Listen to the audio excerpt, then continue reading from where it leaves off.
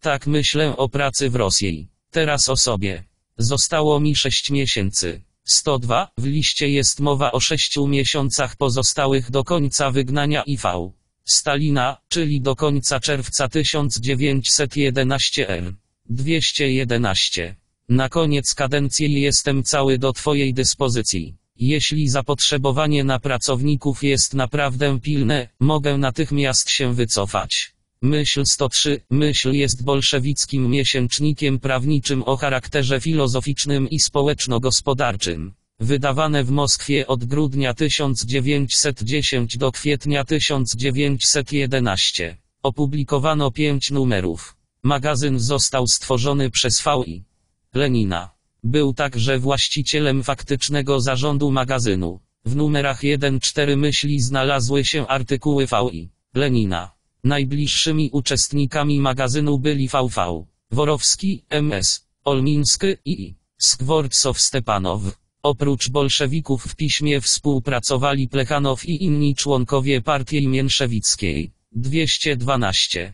NR1 czytamy. Wyobrażam sobie, ile jasności i pogody wniesie do robotników sam fakt wspólnego działania wczorajszych przeciwników, ile zamętu i chaosu zasieje w szeregach likwidatorów. I każdy przyzwoity człowiek powie, że nie będzie źle. Na obczyźnie jest przyzwoite społeczeństwo i dobrze byłoby zaopatrzyć je w okresowe nielegalne wydawnictwa. Wyślij socjaldemokrat NR17 i dalej, a także dodatek do socjaldemokrat. Nie mamy Raboczaja Gazeta 104, Raboczaja Gazeta to popularna gazeta bolszewicka. Wydawane w Paryżu od 30 października, 12 listopada, 1910 do 30 lipca, 12 sierpnia, 1912. Organizatorem i dyrektorem gazety był V.I. Lenina. Konferencja Partii Praskiej, styczeń 1912, zauważyła zasługi Rabocza i gazety w obronie partii i ducha partyjnego i uznała ją za oficjalny organ KC Partii. 212. Ani NR1, ani NR2 nie ma głosu socjaldemokraty. Zwiezda, 105, Zwiezda to bolszewicka gazeta prawnicza. Wydawane w Petersburgu od 16 grudnia 1910 r. do 22 kwietnia 1912 r. Najpierw co tydzień, potem dwa i trzy razy w tygodniu. Działalnością Zwezdy kierował V.I. Lenina. Dla gazety systematycznie przesyłał swoje artykuły z zagranicy. Najbliższymi współpracownikami Zwezdy byli VM. Mołotow, MS Olmiński, NG. Poletajew, NN. Baturin, KS. RMF i inni AM wziął udział w gazecie. Gorzki. Wiosną 1912 r. podczas pobytu w Petersburgu IV. Stalin bezpośrednio nadzorował pracę gazety i opublikował szereg artykułów publikowanych w tym tomie. Nakład poszczególnych numerów gazety sięgał 50-60 tys. Zwiezda przygotowywała wydawanie dziennika bolszewickiego Prawda. 22 kwietnia 1912 r. rząd carski zamknął Zwiezdę. Kontynuacją Zwiezdy była Nowska Zwiezda, wydawana do października 1912 roku. 212. Musimy to zdobyć. Adresy do przesyłek. 1. Sołwyczegowsk, obwód Wołogdy, Iwan Izaakowicz Bogomołow. 2. Solwychegowsk, obwód Wołogdy, Piotr Michajłowicz Serafimow. Adres do korespondencji ze mną. Solwychegowsk, obwód Wołogdy, dom Grigariewa, Nikołaj Aleksandrowicz Wozniesienski. Z serdecznym pozdrowieniem KS. Nie ma potrzeby wysyłania go listem poleconym. Napisz o swoich sprawach, błagam. Napisano 31 grudnia 1910 wydrukowano z kopii listu 1912 na imprezę. 106 ulotka na imprezę. Został napisany na początku marca 1912 roku przez IV. Stalina i wraz z ulotką Platforma Wyborcza RSDLP autorstwa VI. Lenina, była szeroko rozpowszechniona w całym kraju. W numerze 26 gazety Socjaldemokrat Biuro KC donosiło. KC publikował w Rosji ulotki. 1. Dla partii 6 tys. 2. Platforma Wyborcza 10 tys. Ulotki te dotarły do 18 punktów, w tym do kilku największych ośrodków. Ulotki KC witano wszędzie z radością, żałowano tylko, że było ich tak mało. 29 marca 1912 GK. Ordzonikidze napisał do Kijowa, że oba arkusze robiły bardzo dobre wrażenie, publiczność była zachwycona. Nieco później Jenka.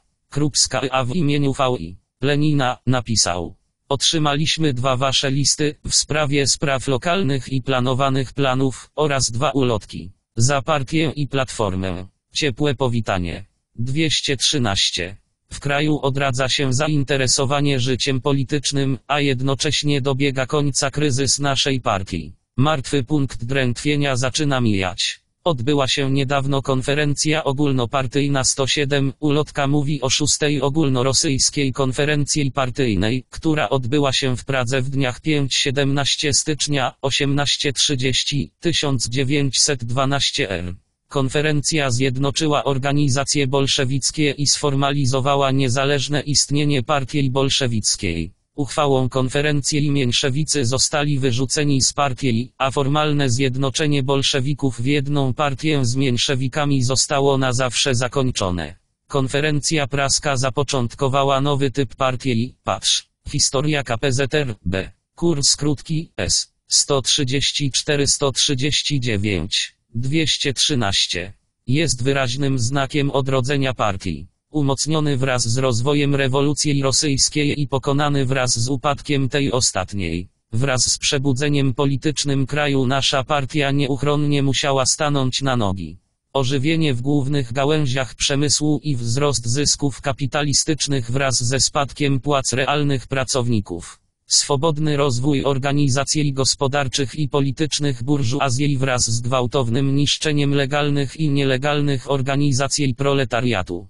Wzrost cen artykułów spożywczych i wzrost zysków właścicieli ziemskich wraz z ruiną gospodarki chłopskiej. Strajk głodowy, który ogarnął ponad 25 milionów ludności, demonstrując bezradność odnowionego reżimu kontrrewolucyjnego, wszystko to nie mogło nie wpłynąć na warstwy pracujące, a przede wszystkim na proletariat w sensie przebudzenia ich zainteresowanie życiem politycznym. Jednym z najwyraźniejszych przejawów tego przebudzenia jest, nawiasem mówiąc, konferencja Rosyjskiej Socjaldemokratycznej Partii Pracy, która odbyła się w styczniu tego roku. Ale odrodzenie umysłów i serc nie może być samo w sobie izolowane. W obecnych warunkach politycznych musi nieuchronnie przerodzić się w otwarte masowe protesty. Trzeba polepszyć byt pracowników, Trzeba podnieść płace, skrócić dzień pracy, trzeba radykalnie zmienić sytuację robotników w fabrykach, fabrykach i kopalniach. Jak jednak tego wszystkiego dokonać, jeśli nie poprzez wciąż zakazane częściowe i ogólne działania gospodarcze? Trzeba wywalczyć prawo do swobodnej walki z pracodawcami, prawo do strajku, związków zawodowych, zgromadzeń, przemówień, prasy itp. Bez tego walka pracowników o poprawę swojego życia będzie niezwykle trudna.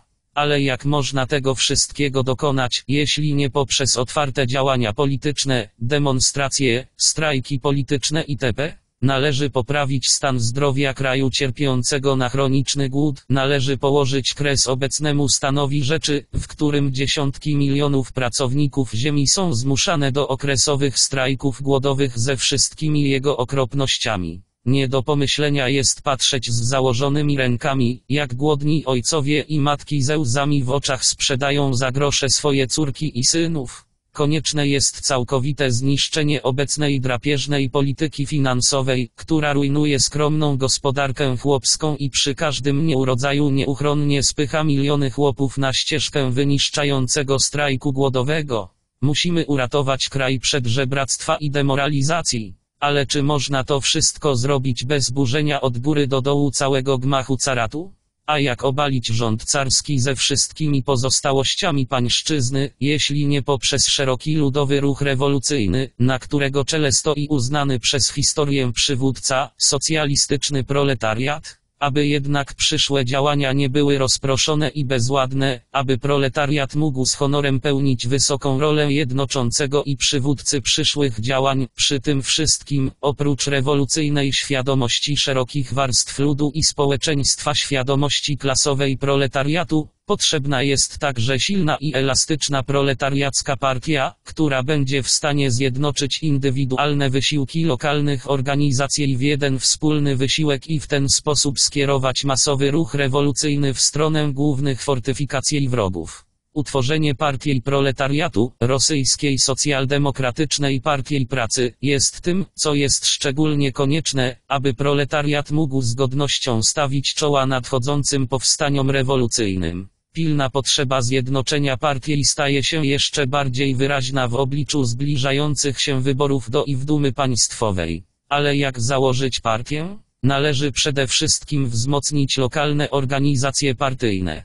Rozbici na małe i maleńkie grupy, otoczeni morzem rozpaczy i niedowierzania w sprawę, pozbawieni sił intelektualnych i często wysadzani w powietrze przez prowokatorów, kto nie zna tego brzydkiego obrazu życia lokalnych organizacji? Konieczne i możliwe jest położenie kresu temu pomieszaniu sił. Początki przebudzenia mas pracujących z jednej strony i niedawno zorganizowana konferencja będąca wyrazem tego przebudzenia z drugiej strony znacznie ułatwiają zadanie usunięcia takiego zamieszania.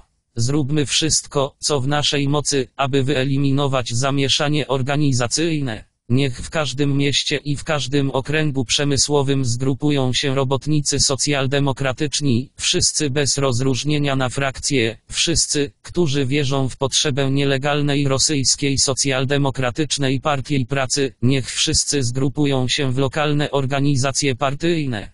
Niech maszyny jednoczą robotników w jedną armię wyzyskiwanych, niech te same maszyny lutują ich w jedną partię bojowników przeciwko wyzyskowi i przemocy. Nie ma potrzeby jednocześnie ścigać dużej liczby członków. W obecnych warunkach pracy może się to nawet okazać niebezpieczne.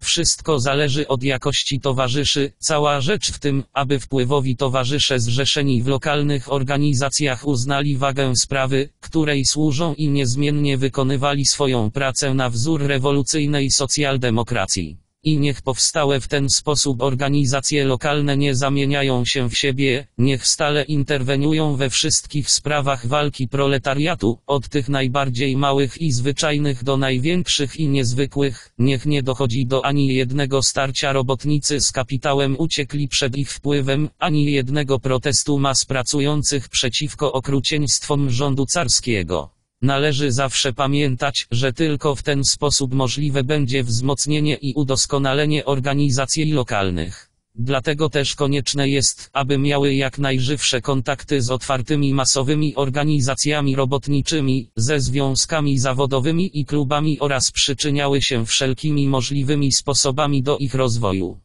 I niech towarzysze robotnicy nie wstydzą się trudności i złożoności zadań, które spadają wyłącznie na nich z powodu braku sił intelektualnych. Musimy raz na zawsze odrzucić tę bezużyteczną skromność i strach przed niezwykłą pracą. Musimy miejcie odwagę podejmować skomplikowane sprawy partyjne. Nie ma znaczenia, czy odkryjesz jakieś błędy. Potkniesz się kilka razy, a potem przyzwyczaisz się do swobodnego chodzenia. Bebelsy nie spadają z nieba, wyrastają jedynie od dołu w trakcie partyjnej pracy we wszystkich jej obszarach. Jednak organizacje lokalne, nawet silne i wpływowe, rozpatrywane indywidualnie, nie stanowią jeszcze partii. Aby tego dokonać, trzeba je jeszcze zebrać, połączyć w jedną całość, żyć jednym, wspólnym życiem. Rozproszone organizacje lokalne, nie tylko niepowiązane ze sobą, ale też nieświadome swego wzajemnego istnienia, organizacje całkowicie pozostawione samym sobie, działające na własne ryzyko i ryzyko, a często prowadzące w swojej pracy przeciwne kierunki, to wszystko znane obrazy rzemiosła w impreza.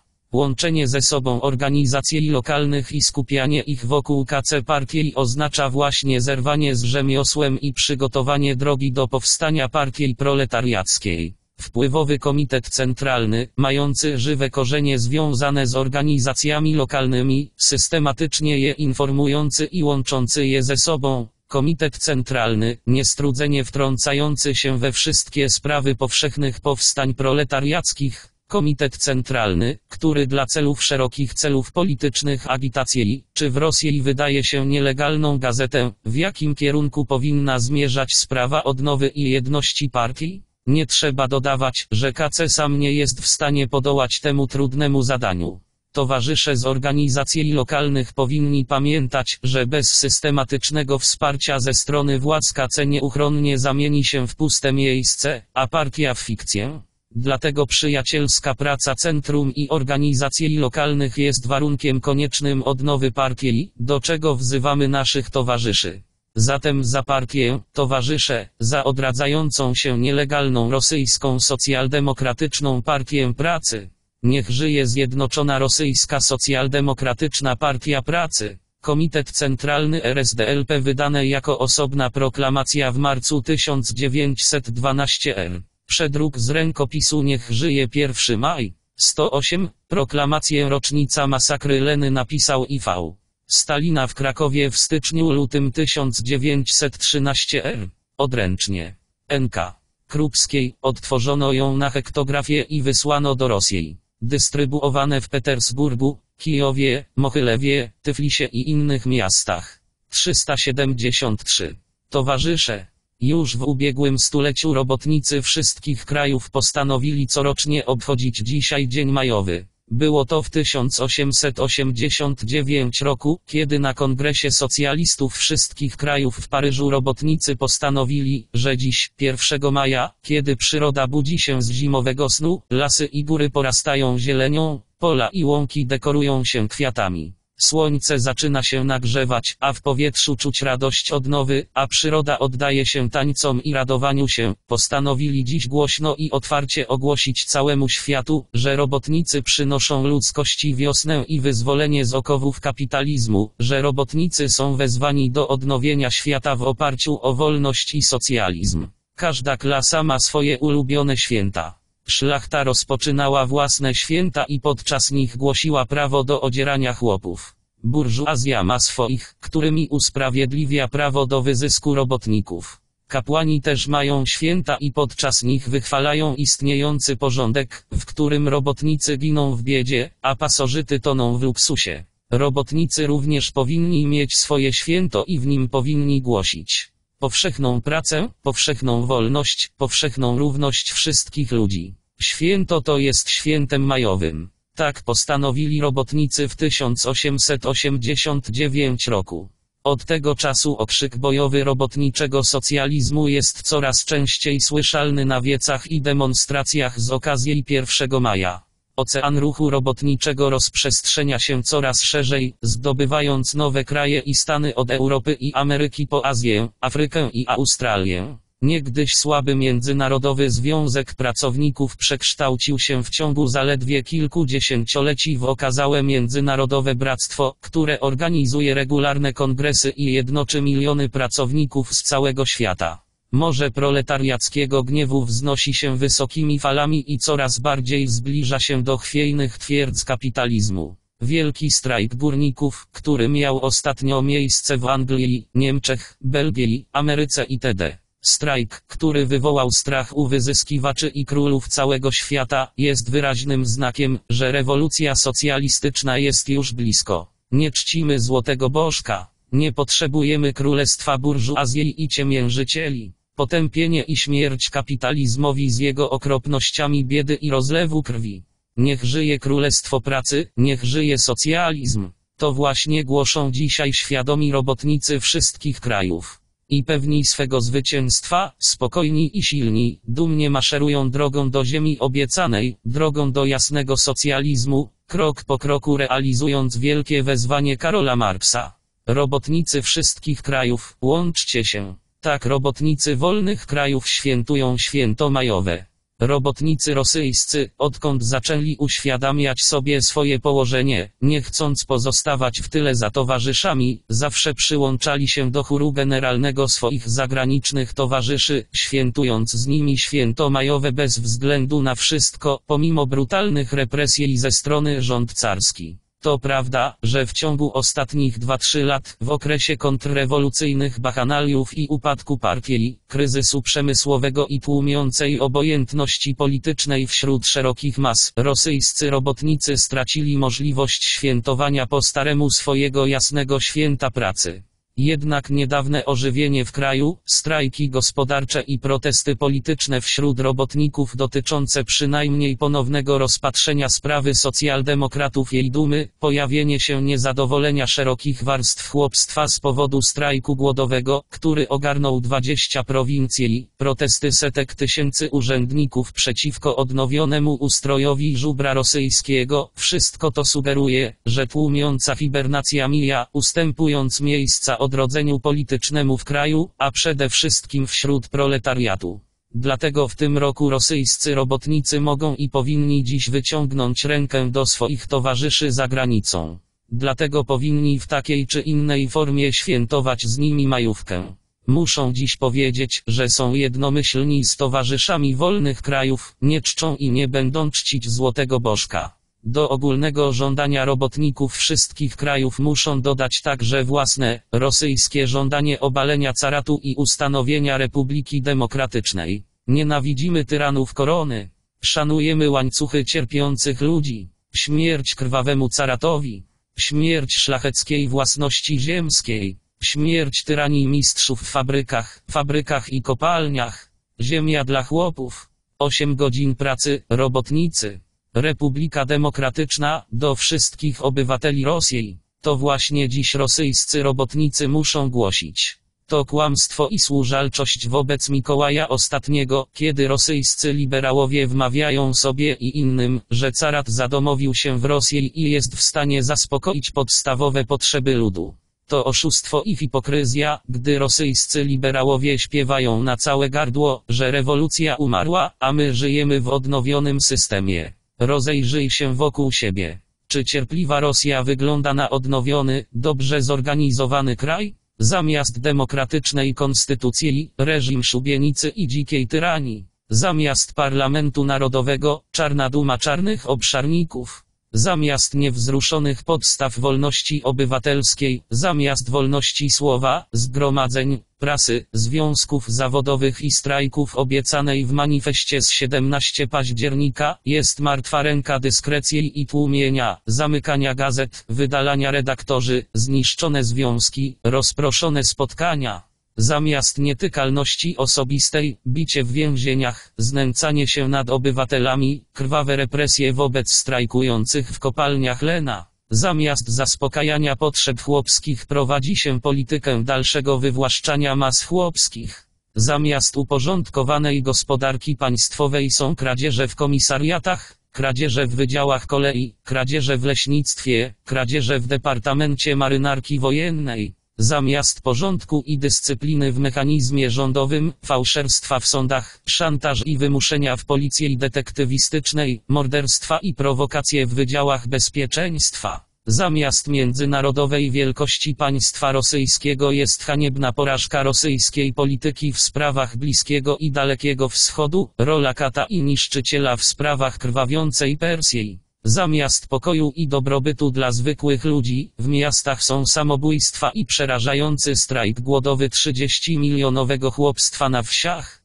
Zamiast uzdrawiać i oczyszczać moralność w klasztorach, w tych bastionach oficjalnej moralności, panuje niespotykana rozpusta. I na koniec, brutalna egzekucja setek robotników w kopalni Lena. Niszczyciele wywalczonych wolności, wielbiciele szubienic i egzekucji, autorzy dyskrecji i tłumienia, złodzieje kwatermistrzowie, złodzieje inżynierowie, rabusie policjanci, mordercy strażnicy, rozpustnicy Rasputyni, oto oni, renowatorzy Rosja. A na świecie wciąż są ludzie, którzy ośmielają się twierdzić, że w Rosji wszystko jest w porządku, rewolucja umarła. Nie, towarzysze. Tam, gdzie miliony chłopów głodują, a robotników rozstrzeliwuje się za strajk, tam rewolucja będzie żyła, dopóki hańba ludzkości, carat rosyjski, nie zostanie wymazana z powierzchni ziemi. I dzisiaj, 1 maja, w takiej czy innej formie, na wiecach, statystach czy tajnych spotkaniach, gdziekolwiek jest to bardziej stosowne, musimy powiedzieć, że przysięgamy walczyć o całkowite obalenie monarchii carskiej, że witamy nadchodząca rewolucja rosyjska, wyzwoliciel Rosji. Wyciągnijmy więc rękę do naszych towarzyszy za granicą i głośmy wraz z nimi. Precz z kapitalizmem. Niech żyje socjalizm. Wznieśmy sztandar rewolucji rosyjskiej i napiszmy na nim. Precz z monarchią carską. Niech żyje Republika Demokratyczna. Towarzysze, dziś świętujemy Dzień Majowy. Niech żyje 1 maj. Niech żyje międzynarodowa socjaldemokracja. Niech żyje rosyjska socjaldemokratyczna partia pracy. Komitet Centralny RSDLP wydane jako osobna proklamacja w kwietniu 1912 r. Przedruk z rękopisu Nowy Pasek za ekonomicznymi działaniami robotników podążają ich działania polityczne. Po strajkach płacowych odbyły się protesty, wiece i strajki polityczne w związku ze strzelaniną w Lenie. W Petersburgu i Moskwie, w Rydze i Kijowie, w Saratowie i Jekaterynosławiu, w Odessie i Charkowie, w Baku i Mikołajowie, wszędzie, we wszystkich częściach Rosji robotnicy podnoszą głowy w obronie swoich towarzyszy poległych nad Leną. Żyjemy, nasza szkarłatna krew gotuje się w ogniu niewykorzystanych sił.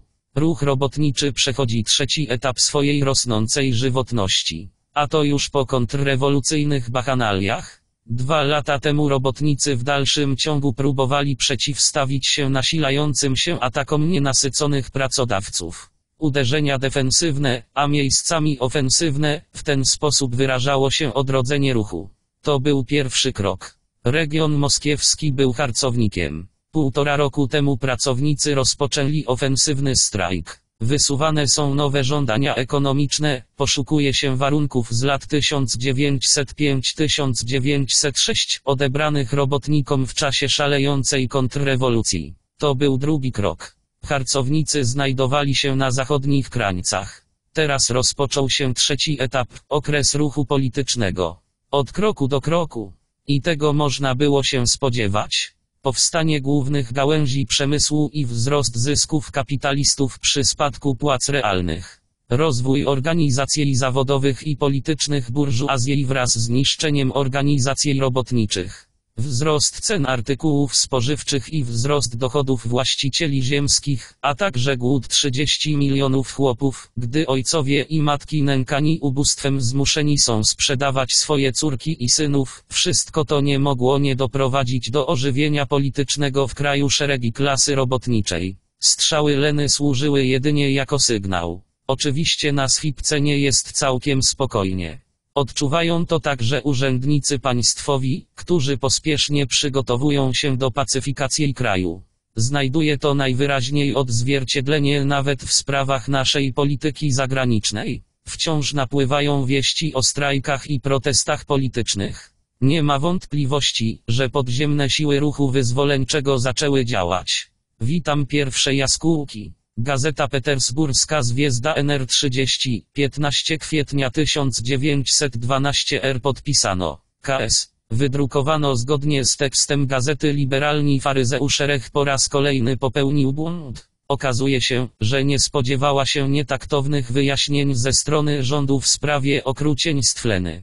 Ona, jak widać, miała nadzieję, że minister Makarow pociągnie pana Treszczenkę do odpowiedzialności prawnej. I nagle, oświadczenie Makarowa, że Treszczenko ma rację i robotnicy będą nadal rozstrzeliwani. Byliśmy w błędzie, zauważa z fałszywą skruchą liberalny Rech, Zob. Rech z 12 kwietnia. Biedni kadeci, po raz kolejny mylili się w swoich obliczeniach dla rządu. Jeszcze nie tak dawno myślano, że Rosja ma konstytucję. I przysięgali w każdym języku przed Europą, że nasz zjednoczony rząd jest całkowicie zgodny z konstytucją. To było w Londynie, daleko od Rosji. Ale gdy tylko wrócili do Rosji, do kraju dyskrecji i tłumienia, przyznali się do swojego błędu i byli rozczarowani. Jeszcze nie tak dawno wierzono, że Stołypinowi udało się wprowadzić kraj na ścieżkę parlamentarnej odnowy. Gdy jednak Stołypin skorzystał ze słynnego art. 87, 109, artykuł 87 podstawowych ustaw państwowych przyznał Radzie Ministrów, w czasie przerw w pracach Dumy Państwowej, prawo przedkładania projektów ustaw do zatwierdzenia bezpośrednio carowi. Na tej podstawie Stołypin uchwalił szereg ważnych ustaw poza Dumą, w szczególności w kwestii agrarnej. 228. I kadeci znów poszli śpiewać o błędach i nieporozumieniach. Od jak dawna kadeci porównują podejście rządu rosyjskiego, pamiętajcie strajk pracowników portowych, do rządu angielskiego w podejściu do strajków. Ale gdy tylko rozegrał się dramat Leny, kadeci po raz kolejny zaśpiewali faryzejskie myliliśmy się. I to znamienne. Rośnie liczba błędów i rozczarowań, ale taktyka kadetów flirtowania z rządem pozostaje niezmieniona. Biedni, biedni kadeci. Najwyraźniej liczą na to, że naiwni czytelnicy uwierzą w ich szczerość. Myślą, że ludność nie zauważa ich lokajskich wybryków przed wrogami wyzwolenia Rosji. Nie wiedzą jeszcze, że jeśli do tej pory co jakiś czas mylili się w swoich poglądach na temat rządu, teraz czeka ich rozczarowanie w masach społecznych, które w końcu zrozumieją ich kontrrewolucyjne podejście charakter i odwracają się od nich plecami. Kogo zatem kadeci oszukają? Służalczość wobec rządu, hipokryzja wobec kraju, dlaczego nazywa się ich Partią Wolności Ludu? Gazeta Petersburska Zwiezda NR30, 15 kwietnia 1912 R podpisano. S. Wydrukowano zgodnie z tekstem gazety bezstronni ekscentrycy bezpartyjny progresywizm stał się modny. Taka jest natura rosyjskiej intelektualistki, potrzebuje mody. Daliśmy się ponieść saninizmowi, popadliśmy w dekadencję, teraz kolejna bezstronność. Co to jest bezstronność? W Rosji są właściciele ziemscy i chłopi, ich interesy są przeciwne, walka między nimi jest zjawiskiem nieuniknionym. Ale bezstronność ignoruje ten fakt. Ma tendencję do ukrywania sprzecznych interesów. W Rosji są burżuazja i proletariusze. Zwycięstwo jednej z tych klas oznacza klęskę drugiej ale bezstronność przyćmiewa przeciwstawność interesów, przymyka oczy na fakt ich walki. Każda klasa ma swoją imprezę, ze specjalnym programem, ze specjalną fizjonomią. Partie prowadzą walkę klas. Bez partii nie byłoby walki, lecz chaos, brak jasności, pomieszanie interesów. Ale bezstronność nie lubi jasności i pewności, woli niejasność i brak programu zakrywanie sprzeczności klasowych, wyciszanie walki klas, brak wyrazu, walka z programowością, dążenie do chaosu i pomieszania interesów, to jest bezstronność. Co daje bezstronność? Ujednolicenie tego, co nie da się połączyć, realizacja tego, co niepraktyczne zjednoczyć burżuazję i proletariuszy w sojusz, zbudować most między obszarnikami a chłopami, przesuwać wóz za pomocą łabędzia, raka i szczupaka, do tego dąży bezpartyjny.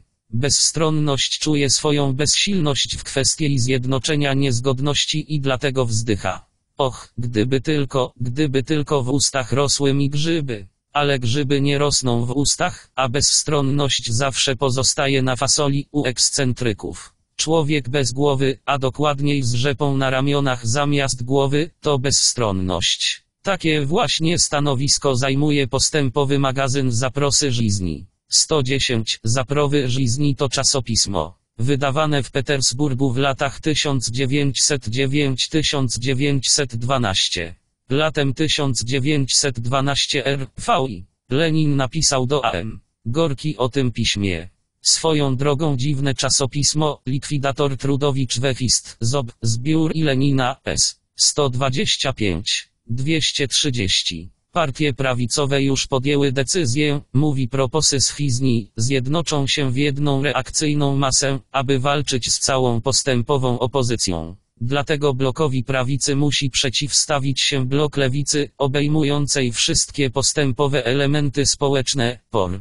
Prośby życia NR6. Ale kim są te elementy postępowe? Są to pokojowi renowatorzy, 111, Mirnononowlępsy, Partia Pokojowej Odnowy, Partia Wielkiej Burżuazji Handlowej i Przemysłowej oraz Wielkich Właścicieli Ziemskich. Powstał w 1906 roku. Lenin nazwał pokojowych renowatorów Partią Pokojowego Rabunku. 230. Kadeci, trudowikowie, socjaldemokraci to znaczy postępowi burżuazyjni, liberalizujący się właściciele ziemscy, chłopi spragnieni ziemi obszarniczej i proletariusze walczący z burżuazją. A żądania życia starają się zjednoczyć te elementy. Czy to nieprawda? To bardzo oryginalne i głupie. I to grono pozbawionych zasad ludzi będzie pouczać socjaldemokratów na temat taktyki w wyborach do i w dumy? Dziwaki. Gazeta Petersburska Zwiezda NR30, 15 kwietnia 1912 R podpis. KSN wydrukowano zgodnie z tekstem gazety Życie wygrywa. Petycje wysyłane przez robotników, żądające wolności koalicjeli, wcale nie złagodziły ich sytuacji, a wręcz przeciwnie, w odpowiedzi na to żądanie, robotników rozstrzelano. Z przemówienia zastępcy Kuzniecowa nie tak dawno temu, zaledwie rok temu, zwolennicy partii legalnej, panowie likwidatorzy, z hukiem i z hukiem rozpoczęli TZW, akcję petycji. Publicystyczny organ likwidatorów, znane Delożizni 112, Delożizni to czasopismo prawnicze mięszewików likwidatorów. Opublikowane w Petersburgu od 22 stycznia do 31 października 1911 r. 232. Napisał, że kolejnym zadaniem ruchu robotniczego jest walka o prawo koalicję i poprzez petycję. Naukowy organ likwidatorów Nasza Zaria 113, Nasza Zaria to miesięcznik prawniczy, organ mięszewickich likwidatorów. Wydawane od 1910 do 1914 w Petersburgu. 232. Uzasadniając to zadanie, zapewniał robotników, że petycje zorganizują wokół siebie szerokie masy. Ale potem w kopalni Lena rozegrał się krwawy dramat, na scenie pojawiło się życie z jego nieubłaganymi sprzecznościami, a taktyka petycji i likwidatorów rozsypała się w pył. Legalny strajk, petycje, wnioski, wszystko poszło na marne, odnowiony system pokazał swoje prawdziwe oblicze. A przedstawiciel tego systemu minister Makarow, jakby dla większej przejrzystości, stwierdził, że rozstrzelanie 500 robotników to nie wszystko, że to dopiero początek, że z Bożą pomocą będzie tak samo w przyszłości. Nie w brwi, ale w oko. Taktyka petycji, która wyszła głośno, wkroczyła w życie. Polityka dotycząca petycji była bezsilna. Zatem to nie petycje mają na celu rozwiązanie odwiecznego sporu między starą a nową Rosją. A liczne wiece i strajki robotników we wszystkich zakątkach Rosji w związku z masakrą w Lenie, czyż nie mówią po raz kolejny, że robotnicy nie pójdą drogą petycji? Posłuchaj zastępcy robotniczego Kuzniecowa. W istocie petycje wysyłane przez robotników z żądaniem wolności koalicji w niczym nie poprawiły ich sytuacji, lecz wręcz przeciwnie, w odpowiedzi na te żądania robotników rozstrzelano. Tak twierdzi zastępca Kuzniecow. Tak, zastępca pracowników, wsłuchując się w głos swojego rodzimego środowiska pracy, nie może mówić inaczej. Nie, likwidatorzy nie mają szczęścia. A co z taktyką składania petycji? Gdzie mam to umieścić? Oczywiście, gdzieś z dala od robotników. Tak, tak, lekcje życia najwyraźniej nie poszły na marne nawet dla likwidatorów. Wydaje się, że upojenie petycją zaczyna ustępować. Cóż, witamy ich z trzeźwym spojrzeniem, witamy ich całym sercem. Mówimy od dawna. Życie jest wszechmocne i zawsze zwycięża. Gazeta Petersburska Zwiezda NR30, 15 kwietnia 1912 R podpisano. K. Stalin wydrukowano zgodnie z tekstem gazety działają dobrze po strzałach Leny w całej Rosji doszło do strajków i protestów. Po wyjaśnieniach dumy ministra Makarowa, demonstracje w stolicy Rosji, rząd chciał wpędzić Rosję w szpony krwawych rozkazów. Rosja okazała się silniejsza od rządu i postanowiła pójść własną drogą. Przyjrzyjmy się jeszcze raz historii wydarzeń Leny. W kopalniach Lena doszło do strajku 6 tysięcy pracowników. Strajk ma charakter pokojowy i zorganizowany. Oczywiście fałszywy rech może mówić o spontanicznym zamieszkach na Lenie, patrz NR 103.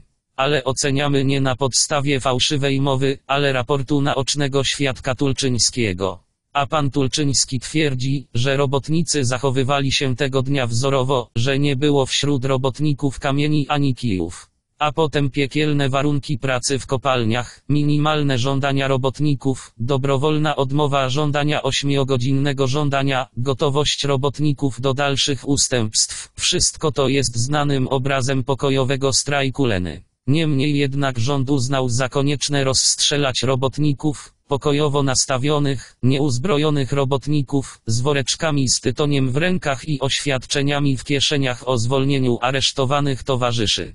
Treszczenko nie został postawiony przed sądem, czy nie jest jasne, że działał na rozkaz z góry? Postanowiono przyciągnąć robotników, a nie Treszczenkę, czy nie jest jasne, że ktoś potrzebował krwi proletariatu? W dniu strzałów chcieli upiec dwie pieczenie na jednym ogniu, po pierwsze, aby zaspokoić zachłanne apetyty leńskich kanibali. Po drugie, aby zastraszyć robotników innych miast i miejscowości, mówią, znoście jarzmo kapitału bez skargi, inaczej zrobimy z wami to samo, co z robotnikami Leny. W rezultacie nie osiągnęliśmy ani jednego, ani drugiego. Kanibale Leny nie są usatysfakcjonowani, bo strajk w kopalniach trwa.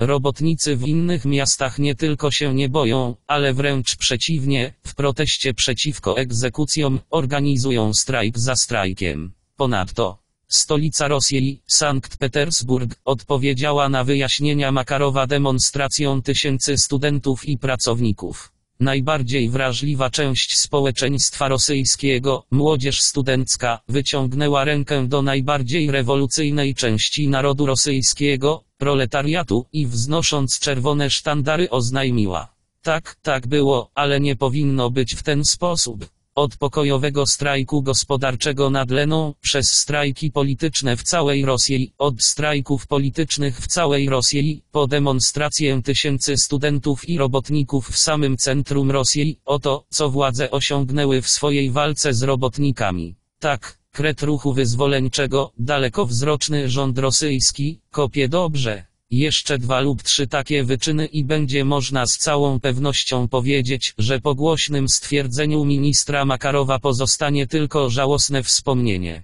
Pracuj panowie, pracuj. Gazeta Petersburska Zwiezda NR31, 17 kwietnia 1912 R podpisano. Kastalin wydrukowano zgodnie z tekstem gazety Ruszam się. Kraj leżał przykuty u stóp swoich niewolników.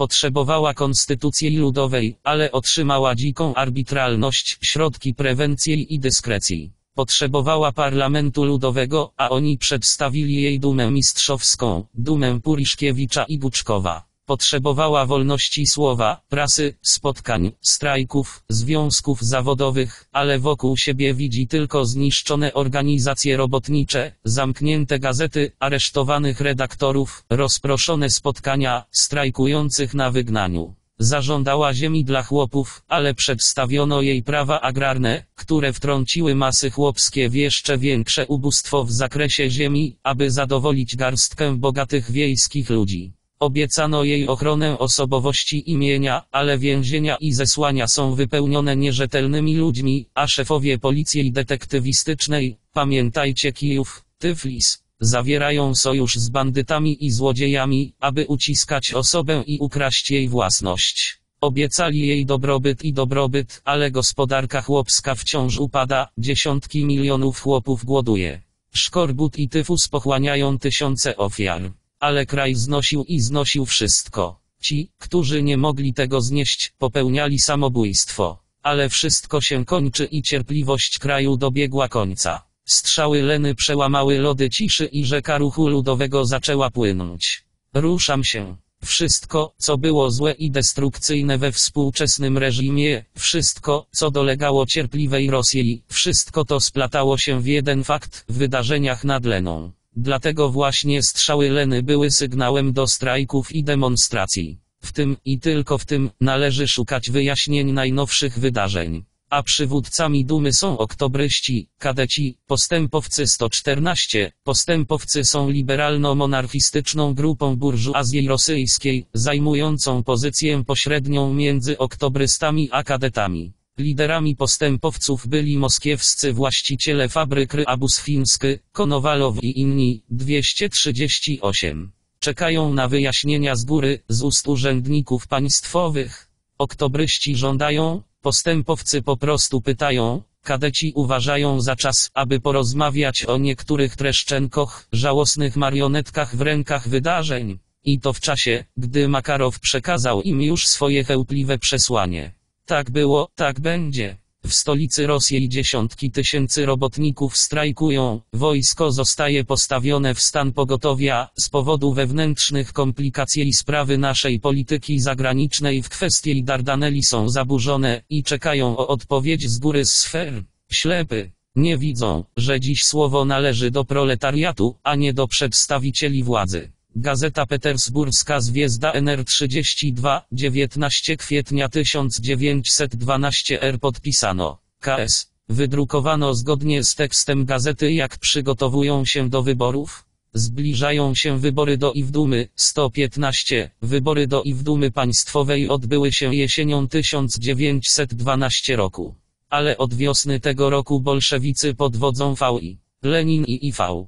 Stalin rozpoczął prace przygotowawcze do kampanii wyborczej. Partia bolszewicka samodzielnie wzięła udział w wyborach do Iwdumy, pod hasłami Demokratycznej Republiki, 8-godzinnego dnia pracy i konfiskaty ziemi obszarniczej. W marcu 1912 R.V.I. Lenin napisał platformę wyborczą RSDLP, która została opublikowana w formie ulotki i rozprowadzana w wielu największych miastach Rosji. Bezpośredni nadzór nad pracą bolszewików w kampanii wyborczej sprawował IV.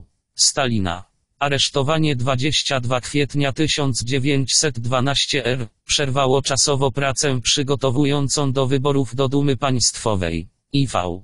Stalin powrócił do Petersburga po ucieczce z wygnania w Narymie we wrześniu 1912 roku, w środku kampanii wyborczej. 240. I wrogowie ruchu wyzwoleńczego mobilizują siły. Przed nami przede wszystkim partie kontrrewolucyjne. Skrajna prawica, nacjonaliści, oktobryści. Wszyscy wspierają rząd w taki czy inny sposób. Na co mogą liczyć w nadchodzącej kampanii wyborczej? Z pewnością nie na sympatię szerokich warstw społeczeństwa. Partie, które związały swój los z losem rządu dońskiego, nie mogą liczyć na współczucie mas, ich jedyną nadzieją są rozkazy rządu. I jak zwykle zamówień nie zabraknie. Ministerstwo Spraw Wewnętrznych rozesłało już okulnik do gubernatorów, w którym zaleca działania zapewniające wybór do wójtów osób całkowicie godnych zaufania, nie należących do lewicy.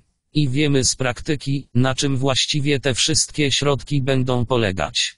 Skreślanie z list lewicowych kandydatów, sztucznie kreowane przeciwko nim procesy, aresztowania, wydalenia, to są te środki. Natomiast święty synod radzi biskupom diecezjalnym, aby w nadchodzących wyborach wzięli jak najgorętszy udział, sprowadzili do dumy zagorzałych obrońców interesów Kościoła, zwołali w tym celu zjazdy wyborcze duchowieństwa diecezjalnego, rozpoczęli wydawanie specjalnych gazetki wyborcze itp. Czy sprawy partii rządowych są złe? Złe, skoro nawet ojcowie Kościoła muszą z ich powodu porzucić sprawy kościelne na rzecz spraw światowych? Wybory pod presją duchowych i świeckich namiestników, na to zatem mogą liczyć. To prawda, że U200B U200B jest inny sposób, przyczepić się do etykiety bezstronności i oszukawszy wyborców, wkraść się jakoś do dumy, a następnie zrzucić maskę.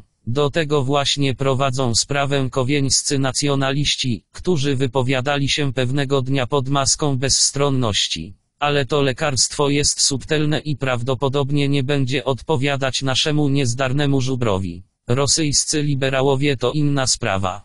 Kadeci, pokojowi renowatorzy, postępowcy.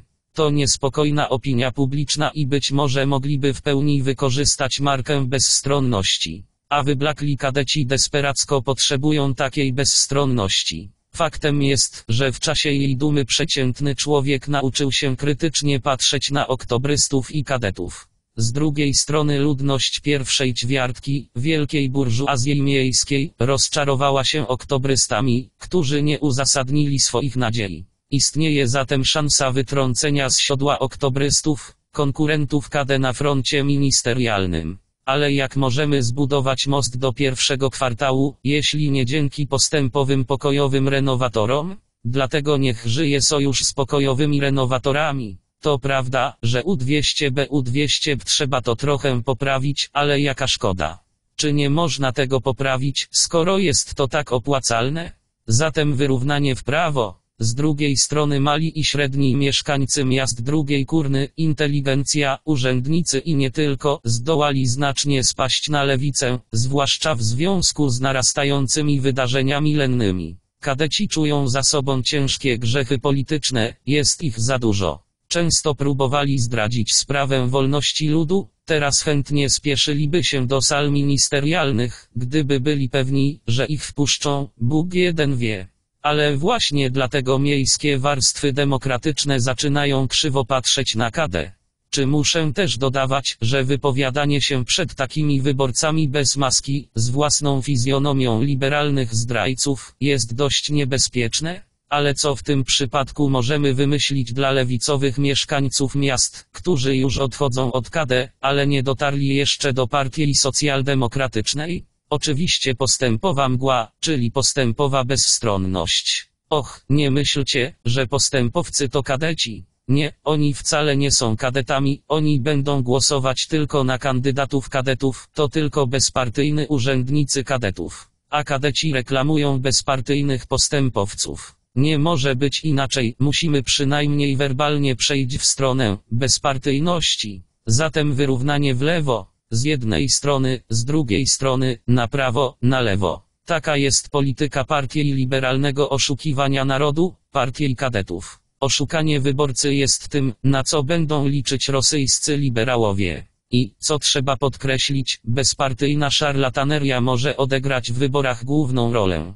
Może odegrać ogromną rolę, jeśli socjaldemokraci nie zdemaskują zamaskowanych liberalnych panów, jeśli nie przeprowadzą energicznej kampanii w związku ze zbliżającymi się wyborami, jeśli nie użyją wszystkich dostępnych im sił, aby zapewnić, że miejska demokracja warstwowe zgromadzenie wokół przywódcy ruchu wyzwoleńczego wokół rosyjskiego proletariatu. Gazeta Petersburska Zwiezda NR32, 19 kwietnia 1912 R podpisano. K. Solin wydrukowano zgodnie z tekstem gazety wnioski pierwsza fala ożywienia politycznego zaczyna wygasać. Trwają ostatnie strajki. Tu i ówdzie wciąż słychać głosy protestujących strajkujących, ale będą to głosy ostatnie. Na razie kraj zaczyna nabierać normalnego wyglądu.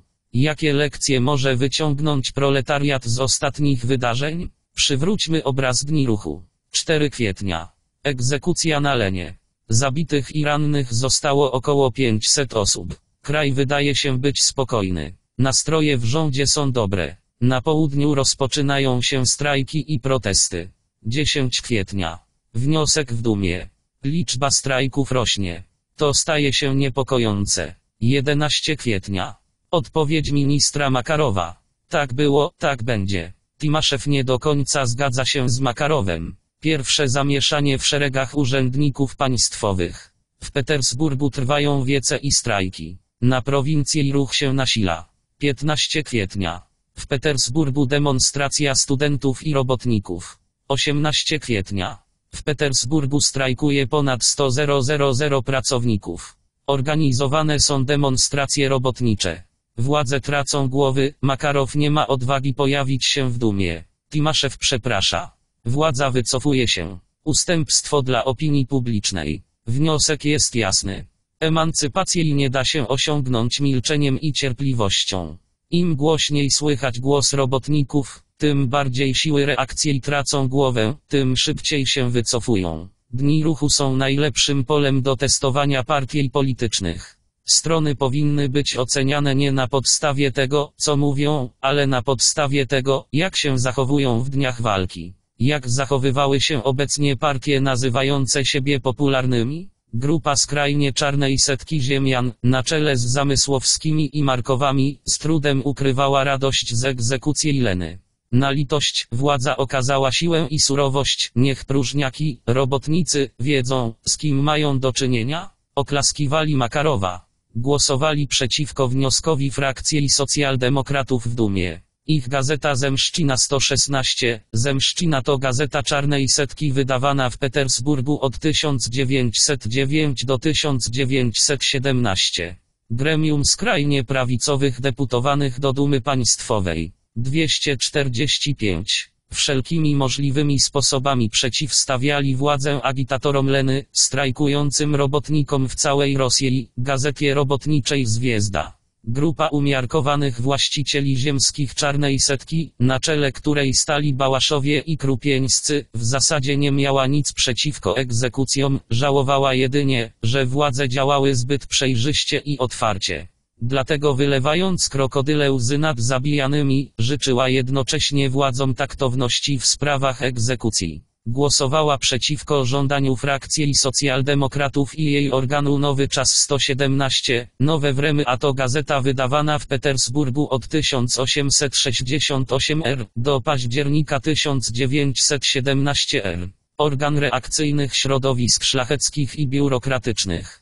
Od 1905 roku stał się jednym z organów Czarnej Sotni. 246 Zaproponował, aby władze nie uczestniczyły w ceremoniach z przekonanymi strajkującymi, poddały demonstrantów nielekkiej grzywnie lub aresztowaniu, ale bardzo surowej karze i nie wypuszczały już aresztowanych agitatorów z więzień, Partia konserwatywnych obszarników i pasożytniczych warstw burżuazji, Partia oktobrystów, na czele której stali Buczkowie i Gołołobowowie, opłakiwała niestraconych, ale to, że wspierany przez nią ministerstwo popadło w kłopoty, strajki, z powodu niewłaściwego użycia broni palnej na lenie nazywając przemówienie Makarowa niezupełnie taktownym, napisała w swoich organach Głos Moskwy 118. Głos Moskwy to gazeta codzienna, organ partii oktobrystów. Wydawane w Moskwie od grudnia 1906 do 1915. Redaktor wydawca gazety A.I. Buczkow. 246. Wyraził pewność, że rząd był niewinny z powodu przelanej krwi. Nie spełniła prośby socjaldemokratów. Podburzała władzę przeciwko podżegaczom. Kiedy Timaszew podjął się rehabilitacji Makarowa, pogratulowała mu, uznając incydent za rozstrzygnięty. Partia liberalnych obszarników i średnie warstwy burżuazji, partia kadetów z Milukowami i Makłakowymi na czele, rzucając grzmiące frazy przeciwko egzekucjom Leny, stwierdziła jednak, że sprawa nie leży u podstaw reżimu, ale u osób takich jak Treszczenko i Biełozerow. Dlatego śpiewając faryzeusz myliliśmy się co do przemówienia Makarowa, była całkowicie usatysfakcjonowana skruszoną mową Timaszewa i ucichła. Z jednej strony popierała frakcję socjaldemokratów, która domagała się procesu kraju wobec urzędników państwowych. Z drugiej strony powitała przedstawicieli burżuazji przemysłowej, pokojowych renowatorów, którzy zwrócili się do tych samych urzędników państwowych, aby uspokoili strajkujących robotników środkami kulturalnymi. Aby nie było wątpliwości co do jej dobrych intencji partii Kadech, Poszła dalej i ogłosiła strajk Leny spontanicznym buntem w jej rechu. Tak zachowywały się wszystkie te popularne partie podczas dni ruchu. Niech robotnicy o tym pamiętają i oddają im hołd w dniach wyborów do i w dumy. Tylko socjaldemokracja broniła interesów robotników w dniach walki, tylko mówiła całą prawdę. Wniosek jest jasny. Socjaldemokracja jest jedynym obrońcą proletariatu. Wszystkie pozostałe wymienione partie są wrogami klasy robotniczej, z tą jednak różnicą, że walczą one z robotnikami na różne sposoby. Niektóre środkami kulturalnymi, inne środkami nie do końca kulturalnymi, a jeszcze inne w ogóle środki kulturalne. Teraz, gdy minęła pierwsza fala wspinaczki, ciemne siły ukryte za zasłoną krokodylich łez zaczynają się ponownie pojawiać. Zemszczyna wzywa do środków przeciwko prasie robotniczej, nowy czas zachęca ich, aby nie oszczędzali przekonanych pracowników. A władze biorą się do rzeczy, aresztując raz po raz nierzetelnych ludzi. Na co mogą liczyć w swojej nowej kampanii, skąd zdezorientowane władze nabrały takiej odwagi? Mogą liczyć tylko na jedno. Na niemożność każdorazowego wszczynania masowych protestów, na dezorganizację robotników i na ich brak świadomości. Gazeta Petersburska Zwiezda NR33, 22 kwietnia 1912 R podpisano. K. Solin wydrukowano zgodnie z tekstem gazety Nasze Cele kto czyta Zwiezdę i zna jej pracowników, którzy są jednocześnie pracownikami Prawdy 119, Prawda to codzienna robotnicza gazeta bolszewicka. Wydawane w Petersburgu od 22 kwietnia 1912 do 8 lipca 1914. Prawda powstała na polecenie VI. Lenin z inicjatywy IV. Stalina. IV. Stalin jako członek Komitetu Centralnego Partii nadzorował rozwój Platformy Prawda i brał udział w powstaniu pierwszego numeru gazety. 22 kwietnia, w dniu ukazania się pierwszego numeru Prawdy, IV. Stalina aresztowano. Pracę wprawdzie mógł wznowić dopiero jesienią 1912 roku, po ucieczce z zesłania w Narymie. Od października 1912 do lutego 1913 na łamach prawdy ukazywały się artykuły przewodnie IV. Stalina, zawarte w tym tomie. Członkami redakcji i najbliższymi współpracownikami prawdy byli VM. Mołotow, MS Olmiński, NN. Baturin, AM. Swerdlow, AM. Gorki, KN. Samoilowa i IN.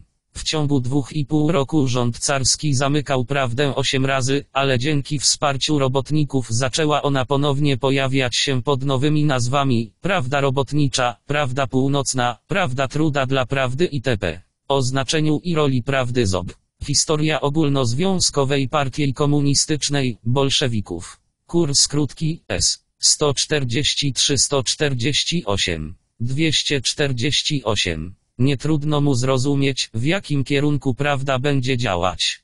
Oświetlić drogę rosyjskiego ruchu robotniczego światłem międzynarodowej socjaldemokracji, zasiać wśród robotników prawdę o przyjaciołach i wrogach klasy robotniczej, strzec interesów sprawy robotniczej, oto cele, jakie przyświeca prawdzie będzie dążyć. Stawiając takie cele, wcale nie zamierzamy tuszować różnic, jakie istnieją pomiędzy robotnikami socjaldemokracji. Co więcej, uważamy, że nie do pomyślenia jest potężny i żywotny ruch bez sporu, tylko na cmentarzu możliwa jest pełna identyczność poglądów. Nie oznacza to jednak, że punktów rozbieżności jest więcej niż punktów zbieżności. Daleko stąd. Bez względu na to, jak bardzo zaawansowani robotnicy różnią się od siebie, nie mogą zapominać, że wszyscy, niezależnie od frakcji, są tak samo wyzyskiwani, że wszyscy, niezależnie od frakcji, są równie bezsilni. Dlatego prawda będzie wzywać przede wszystkim do jedności walki klasowej proletariatu.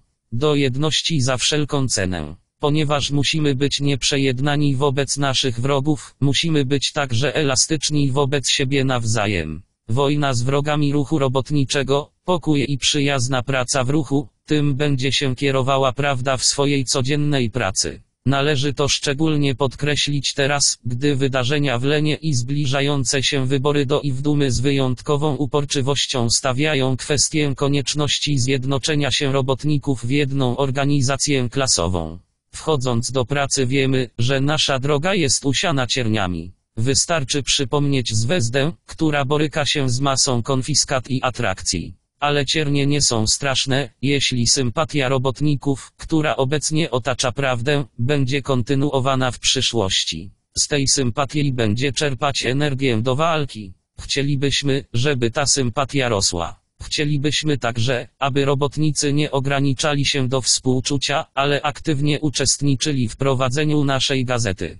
Niech robotnicy nie mówią, że pisanie jest dla nich niezwykłym zajęciem. Pracownicy literaccy nie spadają z nieba od ręki, rozwijają się dopiero stopniowo, w toku pracy literackiej. Trzeba tylko odważniej zabrać się do pracy.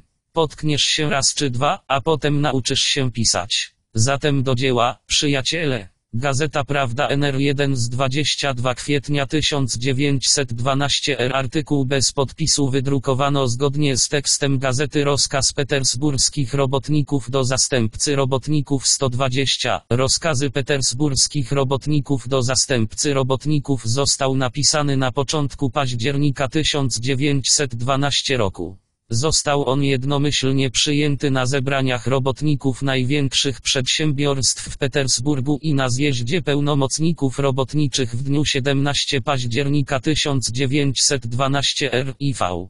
Stalin prowadził dyskusję na temat zakonu na zebraniach fabryk latających. W I. Lenin przywiązywał szczególnie dużą wagę do zakonu. Wysyłając go do drukarni do publikacji w Socjale Demokrat, Lenin napisał na marginesie. Zdecydowanie zwróćcie. Nie brudź się. Zachowanie tego dokumentu jest niezwykle ważne. Zakon ukazał się w numerach 28-29 Socjaldemokraty 5-18 listopada 1912 r. W liście do redakcji Prawdy Lenin nalegał. Pamiętajcie, aby to polecenie posła petersburskiego umieścić w widocznym miejscu, dużą czcionką, ZOB. Works, T, XXS. 78. 250. Żądania narodu rosyjskiego wysuwane przez ruch piątego roku pozostały nierozwiązane. Rozwój reakcji i odnowionego systemu nie tylko nie zaspokoiły tych żądań, ale wręcz przeciwnie, jeszcze je zaostrzyły. Pracownicy są często pozbawieni możliwości nie tylko podjęcia strajku, ponieważ nie ma gwarancji, że nie zostaną za to ostrzelani. Nie tylko organizują związki i spotkania, bo nie ma gwarancji, że nie zostaną za to aresztowani, ale także wybierają ich do dumy, bo i tak zostaną wyjaśnione 121. Termin wyjaśnienie pojawił się w związku z Senat rządowy zastosował doprecyzowanie prawa wyborczego w sensie pożądanym przez rząd. Władze wyjaśniając przepisy arbitralnie uznały wybory za nieważne. 250. Albo będą deportowani. Przecież robotnicy Putiłowa i robotnicy ze Stoczni Newskiej zostali kiedyś wyjaśnieni. Nie mówimy już o dziesiątkach milionów chłopów głodujących, zdanych na łaskę obszarników i zemstwo. Wszystko to przemawia za koniecznością spełnienia wymagań piątego roku. Stan życia gospodarczego w Rosji, pojawiające się już oznaki przyszłego kryzysu przemysłowego i coraz większe zubożenie szerokich warstw chłopstwa sprawiają, że rozwiązanie problemów piątego roku jest pilne. Dlatego uważamy, że Rosja żyje w przededniu nadchodzących ruchów masowych, być może głębiej niż w piątym roku.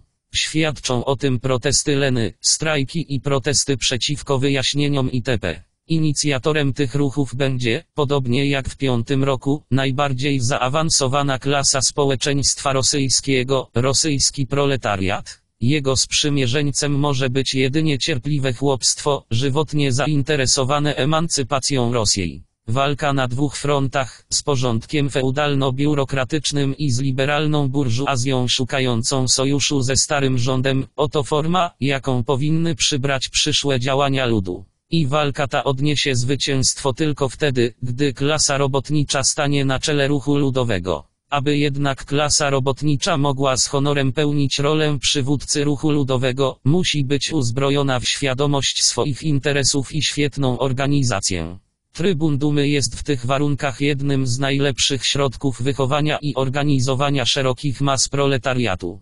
W tym celu wysyłamy do Dumy naszego posła, powierzając jemu i całej frakcji socjaldemokratycznej w Dumy szerokie upowszechnienie naszych żądań z mównicy Dumy, a nie pustą grę legislacyjną w gabinecie pana Duma. Chcielibyśmy, aby zwłaszcza frakcja socjaldemokratyczna i w Dumy i nasz poseł trzymali wysoko sztandar klasy robotniczej w obozie Czarnej Dumy, która jest im wroga. Chcielibyśmy, aby z wysokości mównicy dumy głośno było słychać głosy społeczników. Dem, frakcje o ostatecznym celu proletariatu, o pełnych i niezredukowanych żądaniach piątego roku, o rosyjskiej klasie robotniczej jako przywódcy ruchu ludowego, o chłopstwie jako najbardziej niezawodnym sojuszniku klasy robotniczej, o liberalnej burżuazji jako zdrajców wolności ludu. Chcielibyśmy, aby w oparciu o powyższe hasła frakcja socjaldemokratyczna i w Dumy była zjednoczona i zjednoczona w swojej pracy.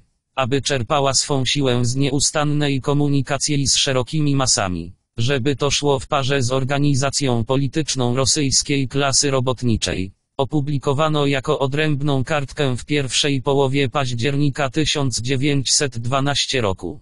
Drukowane zgodnie z tekstem arkusza wola komisarzy ostatecznie wyjaśniono wyniki wyborów do kurii robotniczej. 122. Wybory elektorów do kurii robotniczej prowincji petersburskiej odbyły się po raz pierwszy na wojewódzkim zjeździe komisarzy 5 października 1912 r. Pomimo tego, że 21 największych przedsiębiorstw w Petersburgu zostało pozbawionych prawa głosu, wśród sześć elektorów wybranych przez kongres było cztery bolszewików. Pod naciskiem mas robotnicy wyjaśnionych przedsiębiorstw zostali przywróceni do swoich praw. 14 października 1912 r. odbyły się w tych przedsiębiorstwach nowe wybory komisarzy, a 17 października odbył się jej zjazd komisarzy z kurii robotniczej guberni petersburskiej. Na tym zjeździe odbyły się wtórne wybory elektorów, w których bezwzględną większość uzyskało pięć osób, dwóch bolszewików i trzech mięszewików. Następnego dnia odbyło się dodatkowe głosowanie, w wyniku którego na szóstego elektora wybrano bolszewika. Przebieg walki wokół wyborów szczegółowo opisuje korespondencja IV. Stalina, publikowana w Socjaldemokrat, Wybory w Petersburgu, patrz ten tom, S. 271 284 253 z sześciu elektorów trzy to likwidatorzy, a trzy to zwolennicy prawdy. Który z nich powinien zostać nominowany na posłów? Kto dokładnie powinien być celem? Czy spotkanie komisarzy wydało jakieś instrukcje w tej sprawie? Likwidatorzy przeprowadzali swoich zwolenników, bo ukrywali swoje poglądy przed przedstawicielami, tuszowali różnice, grając na jedności. Wspierali ich przedstawiciele bezpartyjny, którzy wierzyli im na słowo i nie lubili nieporozumień. Ale niezależnie od tego, jak bardzo likwidatorzy próbowali zamącić wodę, w jednym i najważniejszym, wola komisarzy nadal miała wpływ. To jest kwestia dowodzenia. Zgromadzenie przedstawicieli większością głosów przyjęło określone polecenie dla posła, polecenie zwolenników prawdy. W swoim raporcie z wyborów UH 123, UH jest dziennikiem prawniczym mięszewickich likwidatorów. Wydawane w Petersburgu od września 1912 do lipca 1913. Na łamach Lucha likwidatorzy otwarcie sprzeciwiali się nielegalnej partii. Gazeta istniała głównie kosztem burżuazji. 253. Milczy na ten temat, ale nie ukrywa przed czytelnikami prawdy, znanej wszystkim uprawnionym. Nie pozwolimy mu na zniekształcanie woli upoważnionych przedstawicieli. Rozkaz jest poleceniem skierowanym do posła. Rozkaz wydaje zastępca. Jakikolwiek będzie rozkaz, taki jest zastępca. Co mówi mandat wysunięty przez duże petersburskie fabryki i przyjęty na spotkaniu upoważnionych przedstawicieli? Zarządzenie mówi przede wszystkim o zadaniach piątego roku, o tym, że zadania te pozostały nierozwiązane, że sytuacja gospodarcza i polityczna kraju sprawia, że ich rozwiązanie jest nieuniknione. Zgodnie z rozkazem wyzwolenie kraju można osiągnąć poprzez walkę, walkę na dwóch frontach. Z jednej strony przeciwko pozostałościom feudalno-biurokratycznym, z drugiej zaś przeciwko zdradzieckiej burżuazji liberalnej. Co więcej, tylko chłopstwo może być niezawodnym sojusznikiem robotników. Ale walka może odnieść zwycięstwo tylko pod warunkiem hegemonii, wiodącej roli, proletariatu. Im bardziej świadomi i zorganizowani będą robotnicy, tym lepiej będą spełniać rolę przywódcy ludu. A ponieważ Trybun Dumy jest w tych warunkach jednym z najlepszych środków organizowania i wychowywania mas, robotnicy wysyłają do Dumy posła, aby on i cała socjaldemokraci. Frakcja i w Dumy broniła podstawowych zadań proletariatu, pełnych i niezredukowanych żądań kraju. Oto treść zamówienia. Nie trudno zrozumieć, że porządek ten jest zasadniczo sprzeczny z platformą likwidatorów, jest całkowicie antylikwidacyjny. I tu pojawia się pytanie. Skoro likwidatorzy jeszcze odważą się zgłosić swojego kandydata na posła, to co z poleceniem, które poseł musi wykonać, skoro jest w tej sprawie definitywna decyzja Kongresu Deputowanych? Nakaz przeciwdziałający likwidacji wydany przez likwidatora, czy nasi likwidatorzy osiągną taką hańbę? Czy mają poczucie, że gra w jedność zaprowadziła ich w ślepy zaułek? A może zamierzają złamać porządek i skazać go na zapomnienie? Ale co w takim razie zrobić z wolą przedstawicieli, w czyjej obronie niewątpliwie wystąpią robotnicy Petersburga? Czy likwidatorzy odważą się naruszyć wolę komisarzy? Wciąż mówią o zwycięstwie, ale czy mają poczucie, że rozkaz zadał im śmiertelną porażkę, podkreślając, że zastępcą może być tylko antylikwidator? Gazeta Prawda NR 147 z 19 października 1912 R podpisano. KST. Wydrukowano zgodnie z tekstem gazety do wyników wyborów do kurii robotniczej w Petersburgu 1. Wybór komisarzy najbardziej charakterystyczną cechą nastrojów robotników w porównaniu z rokiem 1907 jest duży wzrost zainteresowania wyborami. Poza małymi grupkami rozsianymi tu i ówdzie po przedsiębiorstwach, można śmiało powiedzieć, że nie ma w ogóle nastroju bojkotowego. Obuchow 124 dotyczy fabryki Obuchow. 256 nie bojkotował, lecz został pozbawiony możliwości wyboru z woli kierownictwa fabryki. Stocznia Newska była jedyną, gdzie bojkot działał w sposób zorganizowany, ale i tam robotnicy przeważającą większością głosowali za uczestnictwem. Szerokie masy robotnicze stanęły do wyborów. Co więcej, zabiegali o wybory i wybierali z wielkim zainteresowaniem, ponieważ nie napotykali przeszkód nie do pokonania. Świadczą o tym niedawne masowe protesty przeciwko wyjaśnieniom. Wybierali prawie wyłącznie socjaldemokratów lub tych z socjaldemokratami. Z przyczyn od nas niezależnych tylko nielicznym przedsiębiorstwom udało się wypracować platformę konsekwentnej demokracji robotniczej, zwłaszcza że likwidatorzy mądrze ukrywali swoją platformę przed pracownikami. Ale tam, gdzie było to możliwe, robotnicy wszędzie akceptowali platformę przeciwników likwidacji jako mandat. W takich przypadkach likwidatorzy, oczywiście nie szanując siebie i swoich poglądów, oświadczali, że w istocie też są za takim mandatem Stocznia Newskiego i wprowadzali poprawki w sprawie wolności koalicji, które zostały odrzucone jako niepotrzebne. W związku z tym wybierali głównie po twarzach. A przeważająca większość przedstawicieli okazała się socjaldemokratami lub z nimi powiązanymi. Socjaldemokracja jest jedynym reprezentantem interesów klasy robotniczej, na to wskazują wybory przedstawicieli. 2. Wybór elektorów na 82 zgromadzone osoby było 26 uprawnionych niektórych antylikwidatorów, 15 niektórych likwidatorów, pozostałych 41 to po prostu socjaldemokraci, związani z socjaldemokratami i bezpartyjną lewicą. W imieniu kogo tych 41 będzie przemawiać, jaką linię polityczną zatwierdzą, oto pytanie, które interesowało przede wszystkim frakcjonistów. Spotkanie delegatów przeważającą większością głosów poparło mandat zaproponowany przez zwolenników prawdy. To określiło jego fizjonomię, zwyciężyła linia polityczna antylikwidatorów. Próba zapobieżenia temu przez likwidatorów nie powiodła się. Gdyby likwidatorzy byli politycznie uczciwi, gdyby szanowali ich poglądy, usunęliby swoich kandydatów, a wszystkie mandaty oddali zwolennikom prawdy. Jest bowiem rzeczą oczywistą, że kandydatami mogą być jedynie zwolennicy mandatu. Przeciwnicy mandatu jako obrońcy mandatu mogli to zrobić tylko polityczni bankruci. Likwidatorzy też to zrobili ukrywając przed komisarzami swoje poglądy, chwilowo udając własne, rzekomo nie mając nic przeciwko przyjętemu porządkowi, bawiąc się jednością i narzekając na antylikwidatorów jako schizmatyków, próbowali litować się nad bezfrakcyjnym komisarzem i w jakiś sposób przemycać swoich ludzi. I rzeczywiście przemycili je, oszukując komisarzy. Było jasne, że awanturnictwu likwidatorów nie będzie końca. Niemniej jasne było, że linia polityczna prawdy i tylko ona spotkała się z sympatią proletariatu petersburskiego, że zgodnie z wolą przedstawicieli zastępcą robotników może być jedynie zwolennik prawdy.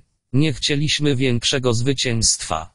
3 dwie jedności zanim przejdziemy do wyboru posła, trzeba powiedzieć kilka słów o tej jedności, która odegrała fatalną rolę w wyborze elektorów, a której likwidatorzy chwytają się jak tonący chwytający się słomki. Trocki napisał niedawno w Łuczu, że prawda była kiedyś za jednością, ale teraz rzekomo jest przeciwko jedności. Czy to prawda? Zarówno prawda, jak i fałsz. To prawda, że prawda opowiadała się za jednością. Nie jest prawdą, że jest to teraz przeciw jedności. Prawda zawsze wzywa do konsekwentnej demokracji robotniczej ku jedności. Więc o co chodzi? A faktem jest, że prawda i Łucz z Trockim mają zupełnie odmienne poglądy na temat jedności. Oczywiście istnieją różne jedności. Prawda uważa, że w jedną całość można zjednoczyć jedynie bolszewików i członków partii mniejszewików. Jedność oparta na wycofaniu się z elementów antypartyjnych, z likwidatorami.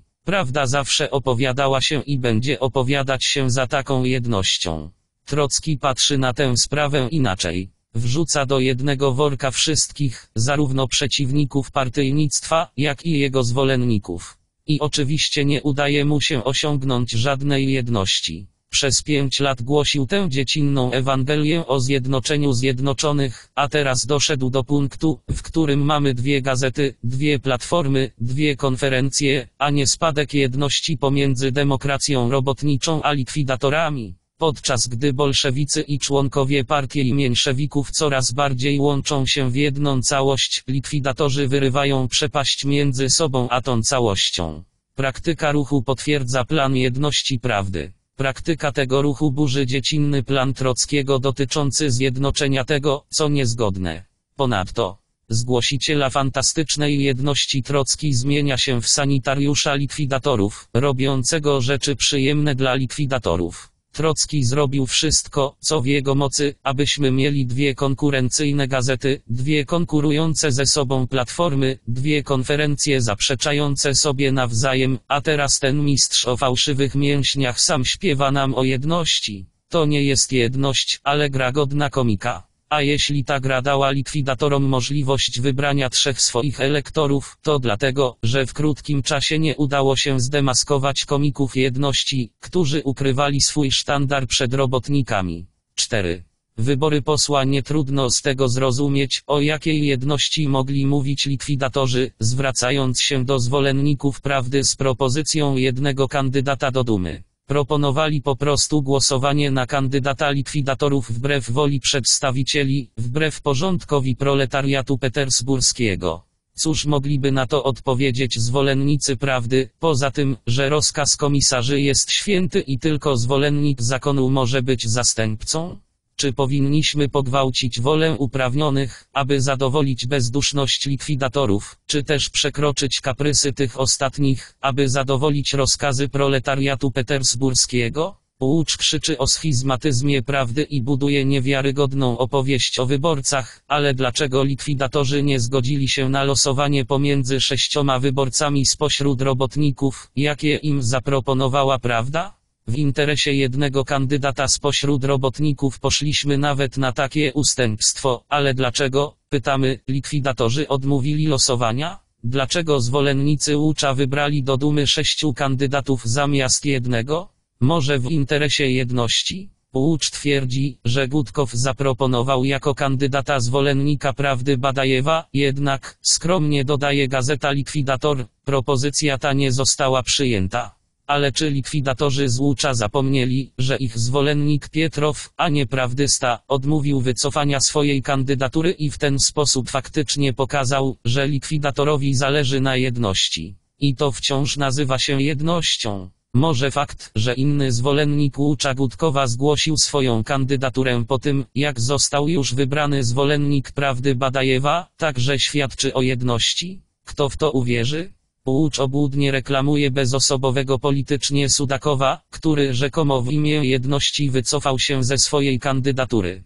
Ale czy ruch naprawdę nie wie, że Sudakow po prostu nie mógł kandydować, bo dostał tylko dwie noty? Jak nazwać gazetę, która postanawia kłamać przed wszystkimi? Polityczny brak kręgosłupa, czy to naprawdę jedyna godność likwidatorów? Likwidatorzy próbowali wepchnąć swojego człowieka do dumy wolą kadetów i oktobrystów, wbrew woli petersburskich robotników. Ale czy rzeczywiście jest prawdą, że oddzielony od mas pracujących łucz nie rozumie, że petersburscy robotnicy nie zgłosiliby wotum zaufania takiemu zastępcy?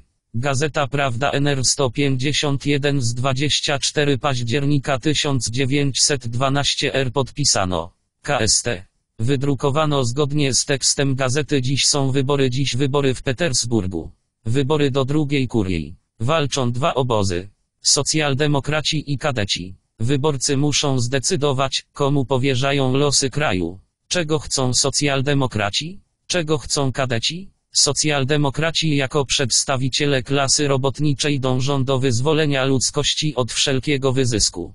Kadeci, jako przedstawiciele liberalnej burżuazji, budują swoją przyszłość na wyzysku człowieka przez człowieka, wyzysku, co prawda, oczyszczonym, ale nadal wyzysku. Socjaldemokraci uważają, że kwestia odnowy kraju pozostaje nierozwiązana, że należy ją rozwiązać, rozwiązać wysiłkiem samego kraju. Kadeci uważają, że mówienie o odnowie jest niepotrzebne, skoro my, dzięki Bogu, mamy konstytucję. Socjaldemokraci uważają, że na drodze odnowy kraju Rosja została podzielona na dwie Rosje. Starą, oficjalną i nową, przyszłą. Kadeci uważają, że po nadaniu konstytucji taka opozycja między obiema Rosjami nie jest już możliwa, ponieważ Rosja jest jedna. Wniosek jest tylko jeden. Konstytucyjny ideał kadetów został już zrealizowany. Ramy sytuacji 3 czerwca nie są dla nich restrykcyjne. Oto na przykład wypowiedź Milukowa na bankiecie w Londynie w 1909 r gdzie wraz z nim oktobrysta Guczkow i umiarkowany członek czarnej setki Bobriński reprezentowali Rosję.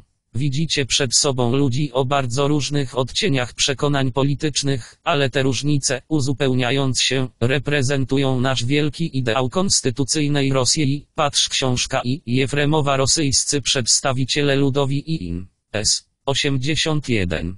W rezultacie czarna setka Bobriński, uzupełniająca kadeta Miliukowa w interesie wolności ludu, jak się okazuje, jest wielkim ideałem kadetów. Na bankiecie w Londynie nie było ani jednego przedstawiciela robotników, ani jednego przedstawiciela chłopów, ale wielkie ideały kadetów, jak się okazuje, mogą obejść się bez robotników, bez chłopów. Konstytucja Bobrińskich, Buczkowów i Milukowa bez przedstawicieli robotników, bez przedstawicieli chłopów, oto ideały kadetów. Czy powinniśmy się po tym dziwić, że kadeci głosowali w jej dumie za 1. Budżetem antyludowym, 2. Podatkami pośrednimi, 3. Za przydziałami na więzienia itp.? Czy powinniśmy się po tym dziwić, że kadeci wypowiadają się przeciwko żądaniom robotników, chłopów i całej demokracji? Czy powinniśmy się po tym dziwić, że kadeci ustami Maklakowa domagali się więcej energii, surowości i okrucieństwa w stosunku do ruchu studenckiego, a pokojowy strajk robotników Leny w Rechu potraktowali jako spontaniczny bunt? Nie, to nie jest partia wolności ludu, ale partia zdrajców wolności ludu.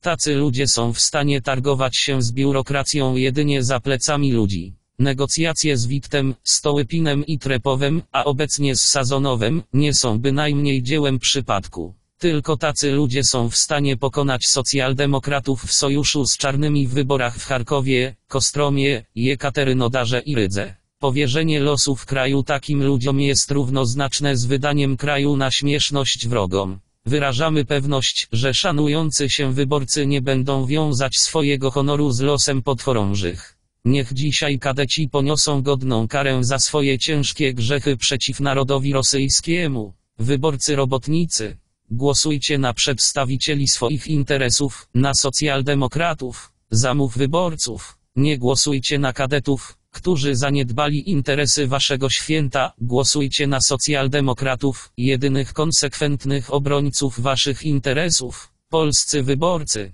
Szukacie prawa do swobodnego rozwoju narodowego? Pamiętajcie, że wolność narodowości jest nie do pomyślenia bez wolności powszechnej, a kadeci wolność zdradzają. Żydowscy wyborcy.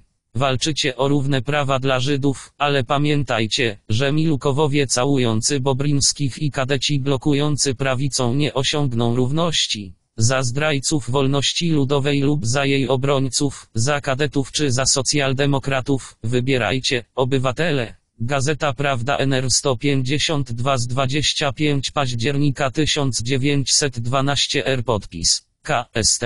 Wydrukowano zgodnie z tekstem gazety 1913 do wszystkich robotnic i pracujących kobiet w Rosji. 9 stycznia 125 proklamację wszystkim robotnikom i pracującym kobietom Rosji, poświęconą ósmej rocznicy 9 stycznia 1905 r.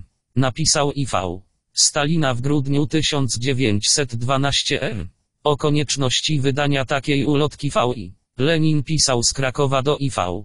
Do Stalina w Petersburgu 23 listopada, 6 grudnia 1912 roku. Drogi przyjacielu, w związku z 9 stycznia niezwykle ważne jest, aby sprawę przemyśleć i przygotować z wyprzedzeniem. Należy wcześniej przygotować ulotkę z wezwaniem do wieców, jednodniowego strajku i demonstracji, o tym należy decydować na miejscu, lepiej zobaczyć na miejscu. Hasła ulotki powinny być trzy rewolucyjne, republika, 8-godzinny dzień pracy i konfiskata ziemi obszarniczej, ze szczególnym uwzględnieniem 300-lecia hańby dynastii Romanowów.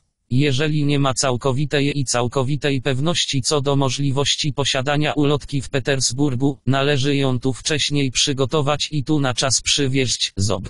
Works T. XXS 82 266 Towarzysze Jeszcze raz witamy 9 stycznia, dzień naznaczony krwią setek naszych braci robotników, których 9 stycznia 1905 roku zastrzelił car Mikołaj Romanow, ponieważ ci spokojni i nieuzbrojeni przyszli do niego z prośbą o lepsze życie. Od tego czasu minęło 8 lat. Osiem długich lat, podczas których, z wyjątkiem krótkiej chwili przebłysku wolności, nasz kraj był nieustannie dręczony i dręczony przez cara i właścicieli ziemskich. A teraz, tak jak poprzednio, robotnicy w Rosji zostali rozstrzelani za pokojowy strajk, tak jak to miało miejsce w przypadku Leny. I teraz, jak poprzednio, miliony chłopów są zmuszane do strajku głodowego, tak jak miało to miejsce w 1911 roku. I teraz, jak poprzednio, w więzieniach carskich torturują i naśmiewają się z najlepszych synów ludu, doprowadzając ich do masowego samobójstwa, jak to miało ostatnio miejsce w Kutomar, Algachi 126 w sierpniu, październiku 1912 r. Wśród więźniów politycznych Kutomar i Algachi skazują więzienia, Nerczyńsk, ciężka praca, Transbaikalia, w ramach protestu przeciwko przemocy administracji więziennej, doszło do masowych strajków głodowych i samobójstw. Odpowiedzią na te wydarzenia były strajki i protesty robotników oraz zgromadzenia studenckie w Petersburgu, Moskwie i Warszawie. 266 itd. I teraz, jak poprzednio, marynarze i żołnierze, którzy żądają ziemi dla chłopów i wolności dla całego narodu, są rozstrzeliwani na dworze królewskim, tak jak to miało miejsce niedawno w przypadku 17 marynarzy Morza Czarnego. 127 w październiku 1912 w 2009 roku Sąd Morski w Sewastopolu wydał wyrok w sprawie 142 marynarzy oskarżonych o przygotowanie powstania we flocie czarnomorskiej. 17 oskarżonych skazano na śmierć, 106 na ciężkie roboty, a 19 uniewinniono. W odpowiedzi na wyrok sądu w Moskwie, Petersburgu, Charkowie, Nikołajewie, Rydze i innych rosyjskich miastach odbyły się masowe strajki i demonstracje protestacyjne. 267. Następnie Nikołaj Romanow, ogólnorosyjski autokrata z łaski właścicieli ziemskich, korzysta ze swojej władzy, danej od Boga i pobłogosławionej przez synodalnych złoczyńców w szatach i czarnej setce, Puriszkiewiczów i Chwostowów. Monarchia Romanowów, która w tym roku planuje obchodzić 300 rocznicę swego krwawego panowania nad naszym krajem, wciąż dusi w swych szponach Rosję. Ale Rosja nie jest już tą uciskaną i uległą Rosją, która przez wiele lat cicho jęczała pod jarzmem Romanowów. A przede wszystkim to nie nasza rosyjska klasa robotnicza przewodzi wszystkim bojownikom o wolność. I spotkamy się 9 stycznia 1913 roku nie jako zgięci, upokorzeni niewolnicy, ale z podniesionymi głowami, zjednoczoną armią bojowników, którzy przeczuwają, którzy wiedzą, że Rosja Ludowa znów się budzi, że lody kontrrewolucji zostały przełamane, że rzeka ruchu ludowego znów zaczęła płynąć, że bo budujemy nowych wojowników. 8 lat? Jak mało przeżyto, a ile przeżyto? W tym czasie widzieliśmy trzy dumy państwowe. Dwie pierwsze, w których liberałowie mieli większość, ale w których donośnie słychać było głosy robotników i chłopów, zostały rozpędzone przez cara, wykonując wolę czarnosecinnych obszarników. Sama trzecia duma była czarną setką i przez pięć lat współpracowała z bandą carską w celu dalszego zniewolenia i ucisku chłopów, robotników, całej Rosji Ludowej. W latach czarnej kontrrewolucji klasa robotnicza musiała wypić najbardziej gorzki kielich. Od roku 1907, kiedy siłą starego porządku udało się na jakiś czas stłumić ruch rewolucyjny mas, robotnicy jęczą pod podwójnym jarzmem. Gang królewski mści się na nich bezlitośnie. I spada na nich ofensywa kapitału. Producenci i hodowcy, wykorzystując reakcję polityczną, krok po kroku odbierają wszystko, co robotnicy zdobyli z takim trudem i takimi wyrzeczeniami. Za pomocą lokautów, pod ochroną żandarmerii i policji, właściciele wydłużają dzień pracy, obniżają płace i wprowadzają stary porządek w fabrykach i fabrykach. Zaciskając zęby, robotnicy milczą rok ósmy i dziewiąty to lata największego uniesienia triumfu czarnej sotni i największego upadku ruchu robotniczego. Jednak już latem 1910 strajki robotnicze zaczęły się odradzać. A koniec 1911 roku przynosi aktywny protest dziesiątek tysięcy robotników przeciwko temu, że socjaldemokraci, posłowie jej dumy skazani za prowokację nadal ciężko pracują. 128 Pod koniec 1911 r. w prasie ukazały się nowe dokumenty obnażające prowokację rządu. Materiały obciążające socjaldemokratów, zastępczych okazało się w całości dziełem petersburskiej tajnej policji. W połowie listopada 1911 r. socjaldemokraci, frakcja trzeciej Dumy zwróciła się do Dumy z prośbą o ponowne rozpatrzenie sprawy socjaldemokratów drugiego Dummera.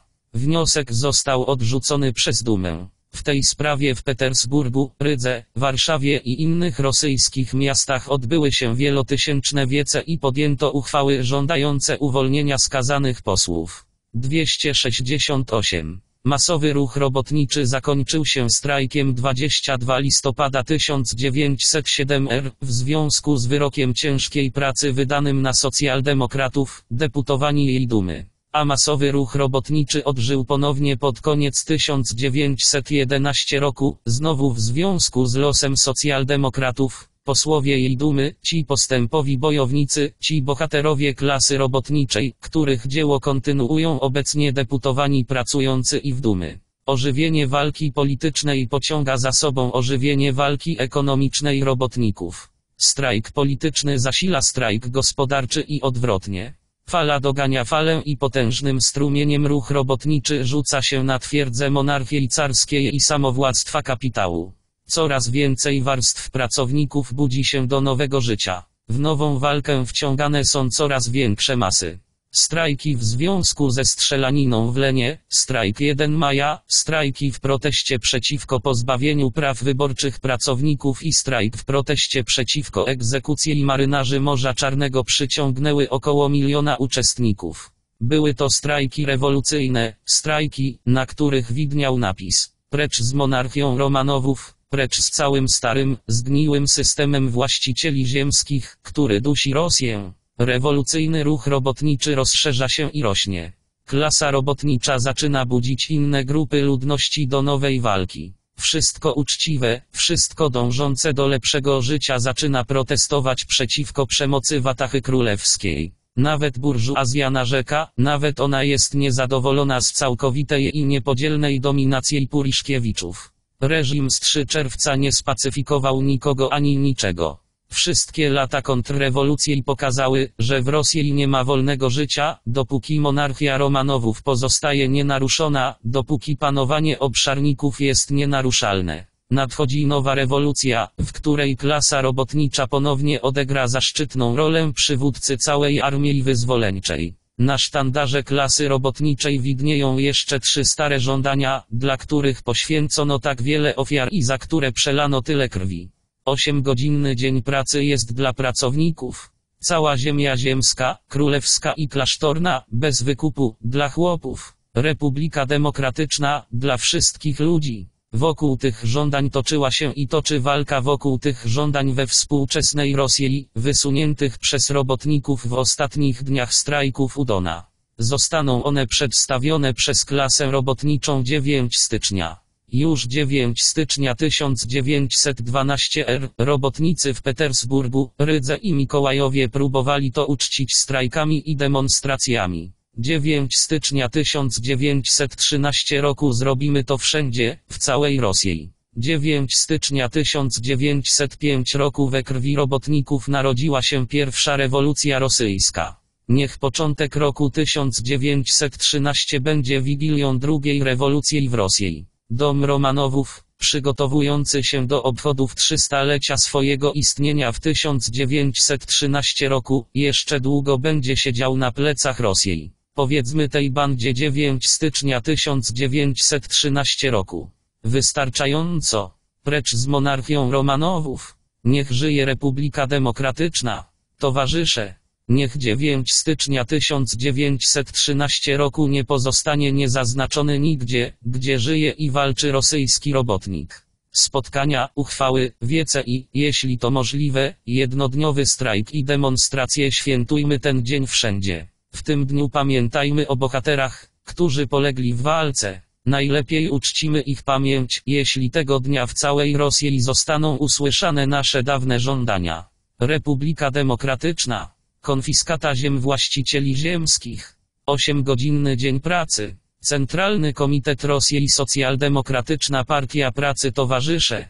Przygotujcie się do protestu 9 stycznia. Wydane jako odrębna proklamacja pod koniec grudnia 1912 r.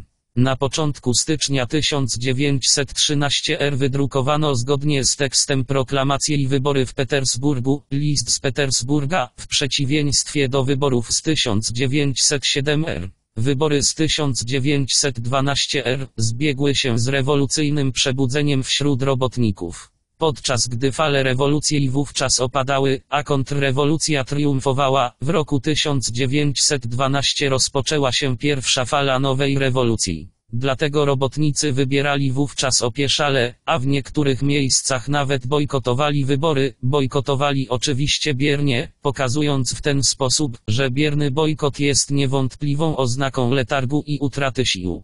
Dlatego teraz, w atmosferze narastającej rewolucji, robotnicy z wielkim zainteresowaniem udali się na wybory, odrzucając zwiotczałą obojętność polityczną. Co więcej, robotnicy walczyli o wybory, starali się o prawo do głosowania i je uzyskali poprzez masowe strajki przeciwko wyjaśnieniom, pomimo wszystkich policyjnych sztuczek i przeszkód. To niewątpliwy znak, że ten rzec polityczny minął, rewolucja posunęła się do przodu. To prawda, że fala nowej rewolucji nie jest jeszcze tak silna, aby można było postawić kwestię, powiedzmy, powszechnego strajku politycznego.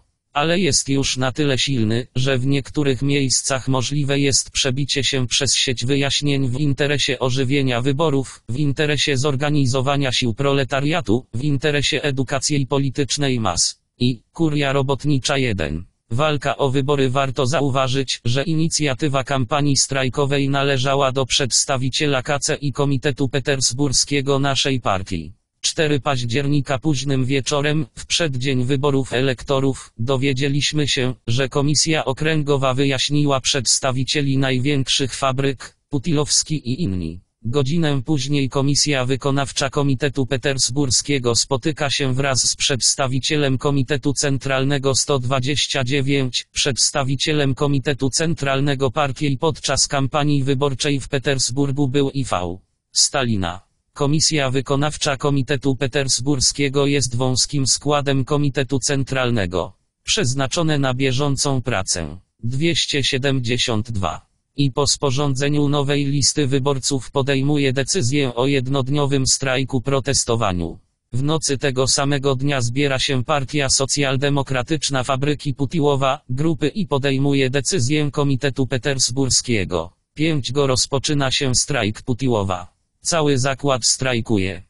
7. Niedziela, zbiera się fabryczna partia socjaldemokratyczna, grupy Stoczni Newskiej i przyłącza się do decyzji Komitetu Petersburskiego. 8. Go cały zakład strajkuje. Za nimi idą inne fabryki i fabryki. Strajkują nie tylko wyjaśnione przedsiębiorstwa, ale także te, które nie są wyjaśnione, pachl, a także te, które zgodnie z regulaminami wyborczymi nie miały prawa wybierać według warunków pracy strajkują w ramach Solidarności. Rewolucyjnych pieśni i demonstracji nie brakuje. 8 października późnym wieczorem okazuje się, że Wojewódzka Komisja Wyborcza kasuje wybory elektorów, unieważnia wyjaśnienia Komisji Powiatowej, przywraca prawa Putiłowitów i przyciągnięcie większej liczby przedsiębiorstw do wyborów. Robotnicy świętują zwycięstwo. Robotnicy zwyciężyli. Ciekawą uchwałę przyjęli robotnicy Newskiego Stoczni i zakładów putiłowskich, ogłaszając strajk. Protestując przeciwko łamaniu naszego prawa wyborczego, deklarujemy, że tylko obalenie caratu i zdobycie demokratycznej republiki może zapewnić robotnikom prawo i rzeczywistą wolność wyborów. Uchwała likwidatorów, że tylko powszechne prawo wyborcze do dumy państwowej może zagwarantować prawo wyborcze została odrzucona. Uchwały te były już omawiane w fabrycznych socjaldemokratach, ugrupowań, a gdy na przykład w grupie Stoczni Newskiej stało się jasne, że uchwała likwidatorów nie spotkała się z sympatią, jej zwolennicy zobowiązali się nie przedstawiać jej na wiecu przed masami bezpartyjnymi, lecz poprzeć jeden przyjęty przez grupę Trzeba przyznać, że dotrzymali słowa. Ale antylikwidatorzy odpowiedzieli z taką samą lojalnością, awansując Gutkowa na stanowisko komisarza, który mając większość w zakładzie, mógł ponieść porażkę. Nie byłoby źle, gdyby choć kropla tego poczucia odpowiedzialności pojawiła się w Łuczu, który tak dobrze pisze o tym, co w fabrykach się nie wydarzyło, a który przemilczał wspomnianą uchwałę w sprawie Newskiego, a na dodatek wypaczył uchwałę Putilowitów. Zatem robotnicy walczyli o wybory i osiągnęli wybory. Niech petersburscy eserowcy, którzy tak bezskutecznie sprzeciwiali się wyborom w Stoczni Newskiej, wyciągną z tego lekcję. Robotnicy walczyli o wybory pod hasłem Republiki Demokratycznej. Niech fetyszyści częściowych reform i likwidatorzy złucha wyciągną z tego lekcję. 2. Rozkaz dla zastępcy do chwili zebrania się zjazdu komisarzy strajki wyjaśniające nie zostały jeszcze zlikwidowane. Można było z góry powiedzieć, że zamówienie opracowane przez Komitet Petersburski i zatwierdzone przez wielkie fabryki petersburskie, Putilowski, Stocznia Newskiego, PAL, zostanie przyjęte przez komisarzy. I rzeczywiście zarządzenie zostało przyjęte zdecydowaną większością głosów przy niewielkiej grupie likwidatorów, która wstrzymała się od głosu. Próby ingerencji tego ostatniego w głosowanie spotkały się z okrzykami nie wtrącajcie się. W swoim zamówieniu skierowanym do posła komisarze mówią o zadaniach piątego roku, że zadania te pozostały nierozwiązane, że rozwój gospodarczy i polityczny Rosji sprawia, że ich rozwiązanie jest nieuniknione. Walka robotników i rewolucyjnych chłopów o obalenie caratu, wbrew pojednawczej polityce burżuazji kadetów, walka, której przywódcą może być jedynie proletariat, o to, co według instrukcji mogłoby rozwiązać problemy piątego roku, POR. Rozkaz w Socjaldemokrat NR 2829. Jak widać, nie jest to tożsame z liberalną likwidatorką rewizją przepisów agrarnych i Dumy czy powszechnymi wyborami do Dumy Państwowej, patrz Platforma Likwidatorów. 130. Likwidatorzy wykluczeni z członkostwa w ich programie wyborczym, opublikowanym we wrześniu 1912 r. Główne hasła polityczne programu minimalnego RSDLP. Hasło Republiki Demokratycznej zastąpili żądaniem powszechnego prawa wyborczego w wyborach do Dumy Państwowej i samorządów lokalnych. Hasło konfiskaty ziemi obszarniczej, żądanie rewizji ustawodawstwa rolnego i Dumy. 275. Robotnicy petersburscy pozostali wierni rewolucyjnym tradycjom naszej partii. Hasła rewolucyjnej socjaldemokracji i tylko one zyskały uznanie Kongresu Reprezentantów. Na zjeździe sprawę rozstrzygnęli ludzie bezpartyjny, na 82 delegatów 41 było po prostu socjaldemokratami i osobami bezpartyjnymi. I nawet jeśli na takim posiedzeniu przyjęto postanowienie Komitetu Petersburskiego oznacza to, że hasła Komitetu Petersburskiego są mocno zakorzenione w uczuciach i myślach klasy robotniczej, jak na to wszystko zareagowali likwidatorzy? Gdyby wierzyli w swoje poglądy i nie byli kulawi w uczciwości politycznej, to prowadziliby otwartą walkę z porządkiem, wysuwając swój porządek, albo w przypadku porażki skreśliliby swoich kandydatów z list. Przedstawiają swoją listę kandydatów na elektorów w przeciwieństwie do listy antylikwidatorów. Dlaczego nie przedstawić też otwarcie swoich poglądów, swojego mandatu? A kiedy mandat antylikwidacjonistów minie, dlaczego by nie zadeklarować uczciwie i otwarcie, że oni jako przeciwnicy mandatu nie mogą zostać wybrani na przyszłych obrońców mandatu, że wycofują swoje kandydatury, zwalniając miejsce dla zwolenników mandat? Przecież to elementarna zasada uczciwości politycznej. A może likwidatorzy ominęli zarządzenie, bo sprawa nie została dostatecznie przedyskutowana i na zjeździe o sprawie zadecydowały głosy bezpartyjnych? Ale dlaczego w tym przypadku nie zastosowali się do decyzji 26 autoryzowanych socjaldemokratów, którzy zebrali się nielegalnie na kilka dni przed zjazdem upoważnionych przedstawicieli i po dyskusji przyjęli stanowisko przeciwników likwidacji, większością 16 głosów, do 9 przy jednym wstrzymującym się, a na posiedzeniu byli obecni zarówno liderzy likwidatorów, jak i ich upoważnieni przedstawiciele? Jakież wyższe względy kierowały się likwidatorami, gdy jednocześnie lekceważyli porządek całego zjazdu i wolę 26 socjaldemokratów? Upoważniony? Oczywiście można tu wziąć pod uwagę tylko jedno. Zirytować przeciwników likwidacji i w jakiś sposób przeprowadzić przez to swoich ludzi. Ale faktem jest, że gdyby likwidatorzy przystąpili do otwartej walki, nie pozyskaliby ani jednego ze swoich zwolenników, bo dla wszystkich było jasne, że dokonana przez likwidatora rewizja uchwał agrarnych jej dumy nie znalazłby współczucia wśród delegatów jedno pozostało. Ukryć swój sztandar, udawać zwolenników zakonu, deklarując, że właściwie też jesteśmy za prawie tym samym porządkiem i jakoś przepuścić swoich ludzi. To właśnie zrobili. Likwidatorzy w ten sposób przyznali się do porażki, klasyfikując się jako polityczni bankruci. Ale zmuszenie wroga do złożenia sztandaru, czyli zmuszenie go do przyznania się do bezwartościowości swego sztandaru, czyli zmuszenie go do uznania ideologicznej wyższości wroga, to właśnie oznacza odniesienie moralnego zwycięstwa. I oto dziwna rzecz. Likwidatorzy mają szeroką partię robotniczą, podczas gdy antylikwidatorzy mają tylko zatwardziałe koło, a mimo to wąski krąg pokonał szeroką partię. Jakie cuda dzieją się na świecie? 3. Jedność jako maska i wybór posła Kiedy burżuazyjni dyplomaci przygotowują się do wojny, zaczynają głośno krzyczeć o pokoju i przyjaznych stosunkach. Jeśli jakiś minister spraw zagranicznych zacznie ukrzyżowywać się z okazji konferencji pokojowej, to wiedz, że jego rząd złożył już zamówienie na nowe pancerniki i jednopłatowce. Słowa dyplomaty muszą stać w sprzeczności z jego czynami, bo inaczej co to za dyplomata? Słowa to jedno, a czyny to zupełnie co innego. Dobre słowa są maską zakrywającą złe uczynki. Szczery dyplomata to sucha woda, drewniane żelazo. To samo należy powiedzieć o likwidatorach z ich fałszywymi wołaniami o jedność. Ostatnio towarzyszu Plechanow, zwolennik zjednoczenia w partii, pisał o uchwałach konferencji likwidacyjnej 131, dotyczy to TZW. Sierpniowej konferencji likwidatorów, która odbyła się w Wiedniu w sierpniu 1912 roku. Konferencja ta została zwołana w opozycji do praskiej konferencji bolszewickiej. 277, że śmierdzą dyplomacją 10 mil stąd. A potem ten sam towarzysz, Plechanow nazwał ich konferencję schizmatycką.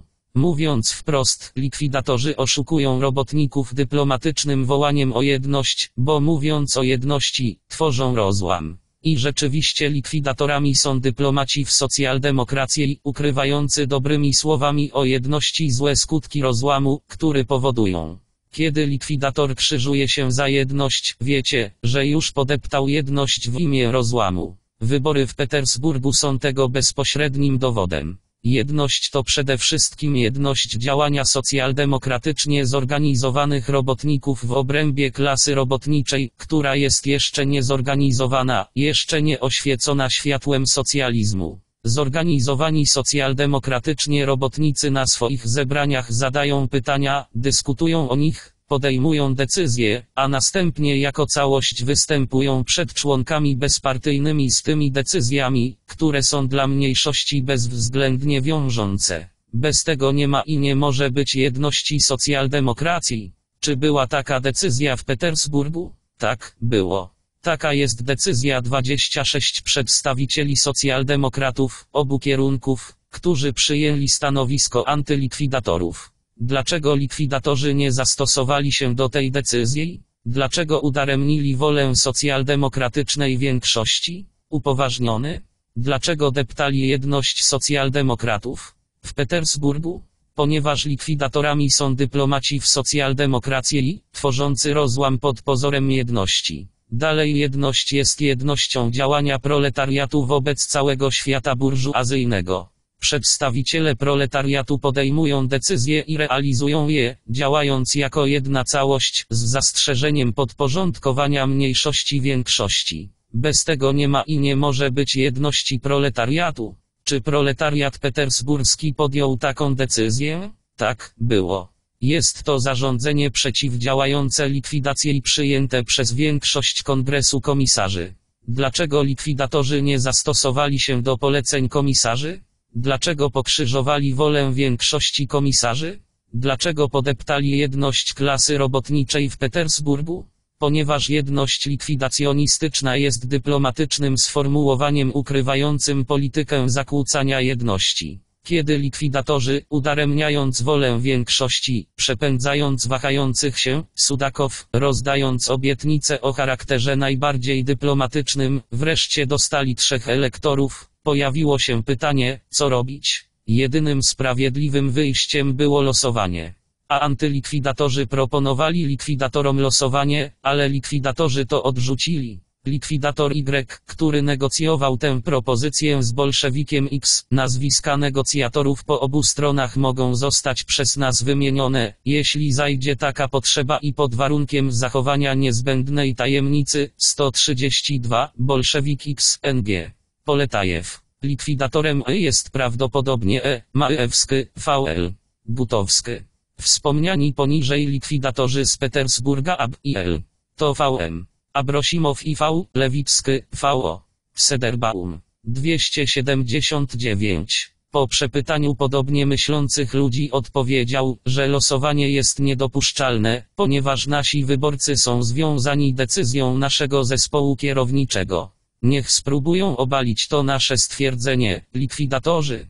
Niepowodzenie woli socjaldemokratycznej większości przedstawicieli, zakłócenie woli większości Kongresu Reprezentantów, odmowa losowania, odmowa jednego kandydata do Dumy, wszystko to leży w interesie jedności. Wasza jedność jest bardzo oryginalna, panowie. Likwidatorzy.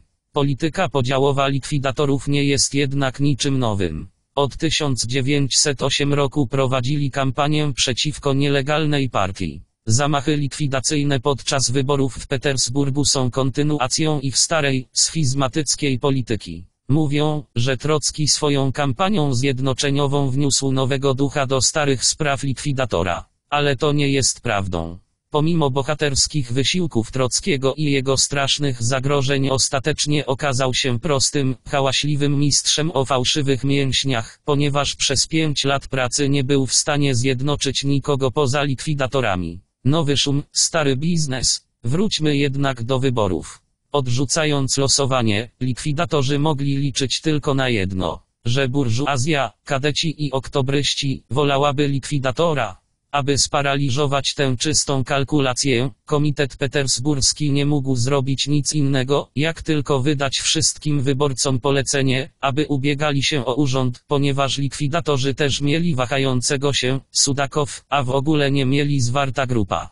Wypełniając polecenie PC, wystartowali wszyscy elektorzy przeciwni likwidacji. A czysta kalkulacja likwidatorów nie powiodła się. Demoralizacja nie nastąpiła wśród przeciwników likwidacji, ale wśród likwidacjonistycznych elektorów, którzy rywalizowali przeciwko decyzji swojego kolektywu. Dziwić powinien nie fakt, że Gudkow zgodził się na kandydaturę Badajewa, Gudkow był obciążony nakazem antylikwidacyjnym, który przeszedł przez jego fabrykę. Ale fakt, że likwidator Pietrow, a po nim sam Gudkow, pobiegł za Badajewem wybór.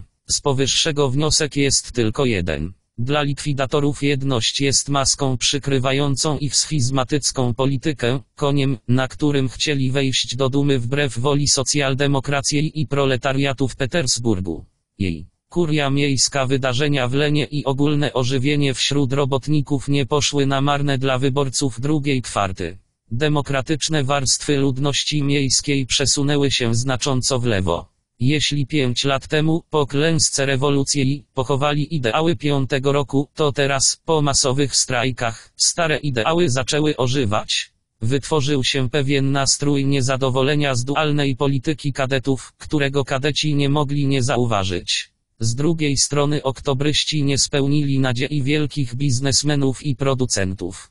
Otworzyły się wolne miejsca pracy, których kadeci ponownie nie mogli nie zauważyć a kadeci już w maju tego roku postanowili grać na dwóch frontach. Nie walcz, ale graj. To wyjaśnia dwoistość kampanii wyborczej kadetów w dwóch różnych kuriach, co nie mogło powstrzymać wyborcy. Centrum kampanii wyborczej socjaldemokratów stała się walka z kadetami o wpływy w warstwach demokratycznych.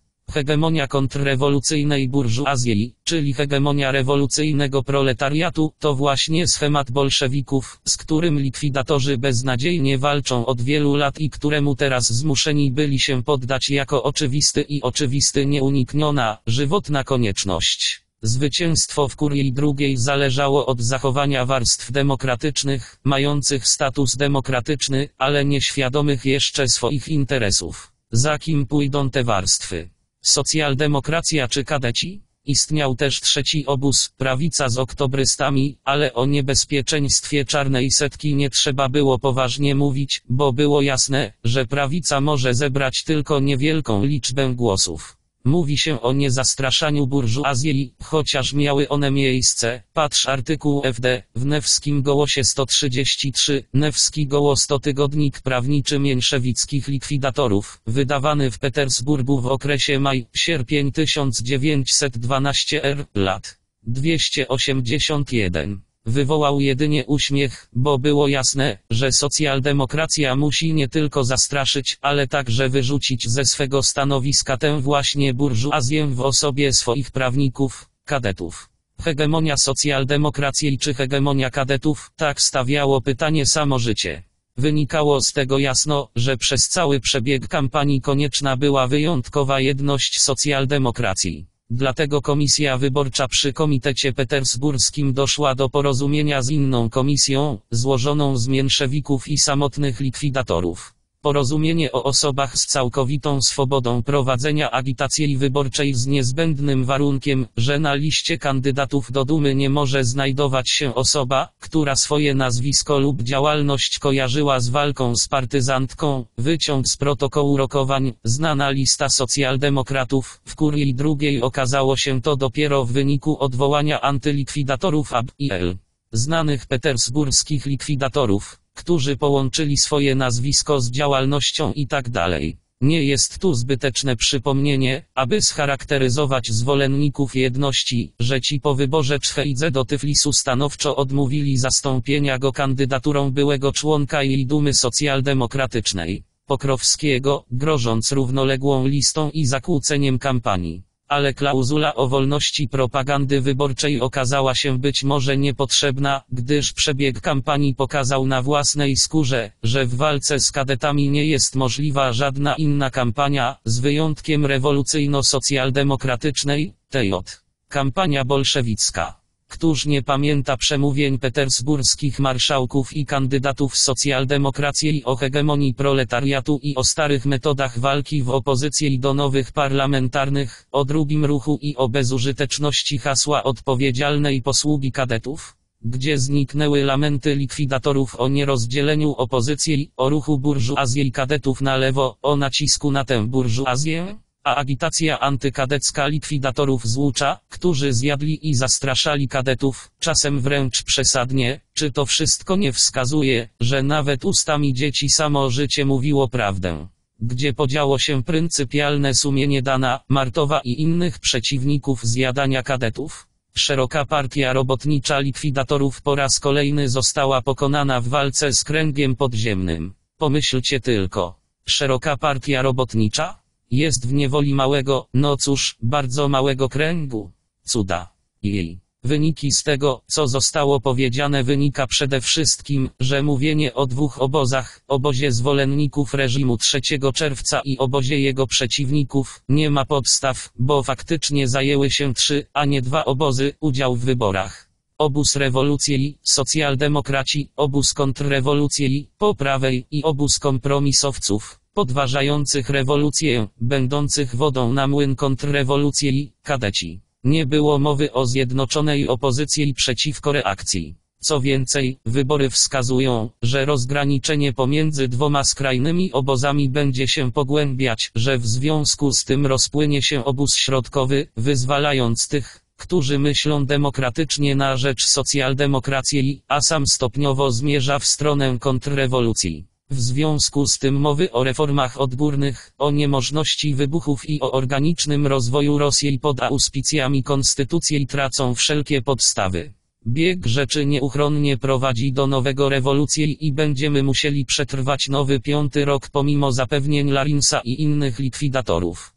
Wreszcie wybory wskazują, że proletariat i tylko on ma zostać przywódcą nadchodzącej rewolucji i, krok po kroku skupiając wokół siebie wszystko, co uczciwe i demokratyczne w Rosji, tęskniące za wyzwoleniem ojczyzny z niewoli. Wystarczy zapoznać się z przebiegiem wyborów w sądzie robotniczym, wystarczy zapoznać się z sympatiami petersburskich robotników, jasno wyrażonymi w zarządzeniu delegatów, wystarczy zapoznać się z swoją rewolucyjną walkę o wybory, aby się o tym przekonać. Wszystko to daje podstawy do twierdzenia, że wybory w Petersburgu całkowicie potwierdziły słuszność haseł rewolucyjnej socjaldemokracji. Żywotność i siła rewolucyjnej socjaldemokracji, oto pierwszy wniosek. Polityczne bankructwo likwidatorów, to drugi wniosek. Gazeta Socjaldemokrata NR30, 12 stycznia, 25, 1913 podpisano. K. Stalin wydrukowano zgodnie z tekstem gazety w drodze do nacjonalizmu, list z Kaukazu, wśród dekretów, które utrwaliły chwałę konferencji likwidacyjnej, nie ostatnie miejsce zajmuje uchwała o autonomii kulturowo-narodowej.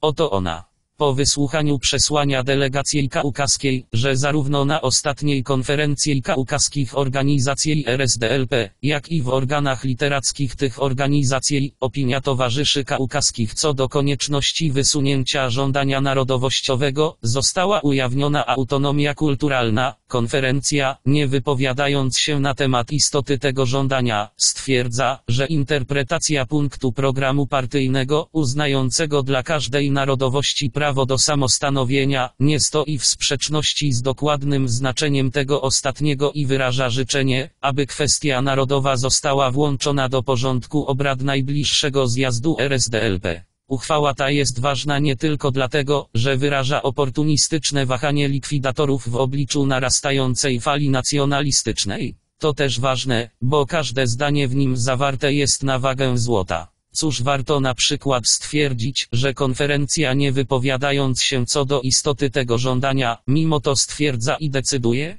Przecież tak decydują tylko w operetkach. Albo sformułowanie, że taka interpretacja punktu programu partyjnego, uznająca prawo każdej narodowości do samostanowienia, nie stoi w sprzeczności z dokładnym znaczeniem tego ostatniego. Pomyśl.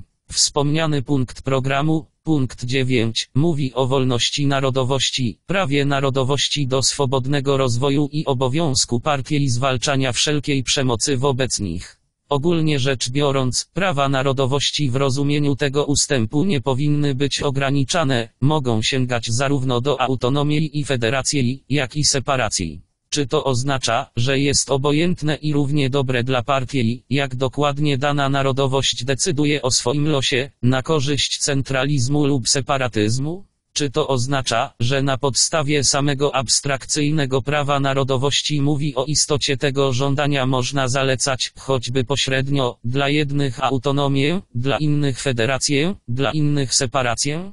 Narodowość sama decyduje o swoim losie, ale czy to oznacza, że partia nie powinna wpływać na wolę narodowości w duchu decyzji jak najbardziej zgodnej z interesami proletariatu? Partia na rzecz wolności wyznania, na rzecz prawa człowieka do wyznawania dowolnej religii. Czy można z tego wyciągnąć wniosek, że partia będzie opowiadać się za katolicyzmem w Polsce, za prawosławiem w Gruzji, za gregoriańskim w Armenii, że nie będzie walczyć z tymi formami światopoglądowymi? I czy nie jest oczywiste, że 9. Punkt programu partyjnego i autonomii kulturowo-narodowej, dwie zupełnie różne płaszczyzny, które mogą przeciwstawić się sobie w takim stopniu, jak powiedzmy piramida Cheopsa i osławiona konferencja likwidatorów?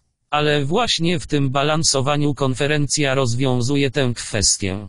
Najważniejszą rzeczą we wspomnianej uchwale likwidatorów jest upadek ideologiczny wśród kaukaskich likwidatorów, którzy zdradzili stary sztandar internacjonalizmu na Kaukazie i osiągnęli tę uchwałę na konferencji. Zwrot kaukaskich likwidatorów w stronę nacjonalizmu nie jest przypadkowy. Likwidację tradycji partyjnych rozpoczęli oni już dawno temu. Zniesienie części społecznej programu minimalnego, zniesienie hegemonii proletariatu, patrz arkusz dyskusyjny NR2 134, patrz listy z Kaukazu, S. 189-192 tego tomu. 287. Ogłoszenie partii nielegalnej jako organizacji pomocniczej w ramach organizacji prawnych. Patrz dzienniczek NR9 135 w NR9 dziennika Socjaldemokraty GV. Plechanow skrytykował wystąpienie w głosie socjaldemokrata gruzińskiego Mięszewickiego likwidatora S. Zwibladze.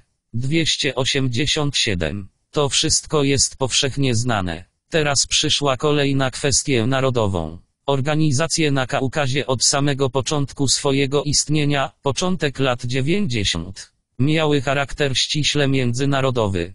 Zjednoczona Organizacja Robotników Gruzińskich, Rosyjskich, Ormiańskich i Muzułmańskich, prowadzących wspólną walkę z wrogami, taki był obraz życia partyjnego. W 1903 roku na pierwszym zjeździe założycielskim kaukaskiej, a właściwie zakaukaskiej, socjaldemokracji, organizacji, które położyły podwaliny pod Unię Kaukaską, ponownie uznano międzynarodową zasadę budowania organizacji za jedyną słuszną. Od tego czasu kaukaska socjaldemokracja rozwinęła się w walce z nacjonalizmem. Gruzińscy socjaldemokraci walczyli ze swoimi nacjonalistami, narodowymi demokratami i federalistami. Ormiańscy socjaldemokraci ze swoimi daschnaktsakanami. Muzułmanie z panislamistami 136 Panislamizm jest reakcyjną ideologią religijną i polityczną, która powstała w drugiej połowie XX wieku w sułtańskiej Turcji wśród tureckich właścicieli ziemskich, burżuazji, duchowieństwa, a następnie rozprzestrzeniła się wśród klas posiadających inne narody muzułmańskie. Panislamizm głosił zjednoczenie w jedną całość wszystkich narodów wyznających islam, religię muzułmańską. Przy pomocy panislamizmu klasy rządzące ludów muzułmańskich starały się wzmocnić swoje pozycje i zdusić ruch rewolucyjny ludów pracujących wschodu. 288. I w walce z nimi socjaldemokracja kaukaska rozszerzyła i wzmocniła swoje organizacje, niezależnie od frakcji. W 1906 roku na konferencji regionalnej Kaukazu po raz pierwszy pojawiła się kwestia autonomii kulturowo-narodowej czas została zgłoszona i domagała się pozytywnej decyzji przez grupę mieszkańców Kutaisi. Nawiasem mówiąc, pytanie to było żałośnie nieudane, jak to wówczas ujęto, ponieważ obie frakcje w osobie Kostrowa i autora tych słów sprzeciwiały się mu równie ostro. Uznano, że najlepszym rozwiązaniem kwestii narodowej, jak najbardziej zgodnym z interesami zjednoczonego w walce kaukaskiego proletariatu, jest TZW. Samorząd Regionalny Kaukazu. Tak, tak było w roku 1906 i tę decyzję powtórzono na kolejnych konferencjach, broniono i popularyzowano zarówno w prasie mięszewickiej, jak i bolszewickiej, kaukaskiej, legalnej i nielegalnej. Ale potem przyszedł rok 1912 i okazało się, że my potrzebujemy autonomii kulturowo-narodowej, oczywiście, oczywiście, w interesie proletariatu. O co chodzi? Co się zmieniło? Może proletariat kaukaski stał się mniej socjalistyczny? Ale przede wszystkim nierozsądne jest wznoszenie narodowych, organizacyjnych i kulturowych podziałów pomiędzy robotnikami. Może stał się bardziej socjalistyczny? Ale jak w tym przypadku nazwać tych, że tak powiem, socjalistów, którzy sztucznie wznoszą i wzmacniają zapadające się i niepotrzebne przegrody? O co więc chodzi? Tak, faktem jest, że chłop Kutai ściągnął za sobą socjaldemokratycznych oktobrystów z Tyflisu. Odtąd sprawami likwidatorów Kaukazu zajmą się chłopi z Kutaisi, przestraszeni bojowym nacjonalizmem. Likwidatorzy kaukascy nie mogli oprzeć się fali nacjonalizmu, zrzucili wypróbowany sztandar internacjonalizmu i poszli wędrować na falach nacjonalizmu, wyrzucając za burtę swój ostatni majątek. Co to jest, co za pustka? Ale ten, kto powiedział A, musi także powiedzieć B. Wszystko ma swoją logikę. Za gruzińską, ormiańską, muzułmańską i rosyjską, narodowo-kulturową autonomią kaukaskich likwidatorów pójdą partie likwidatorów gruzińskich, ormiańskich, muzułmańskich i innych. Zamiast organizacji ogólnej będą istniały odrębne organizacje według narodowości, że tak powiem, gruzińskie, ormiańskie i inne bundy. Czy nie w ten sposób panowie prowadzą swoje rozwiązanie kwestii narodowej? Kaukascy likwidatorzy? Cóż, możemy im życzyć odwagi.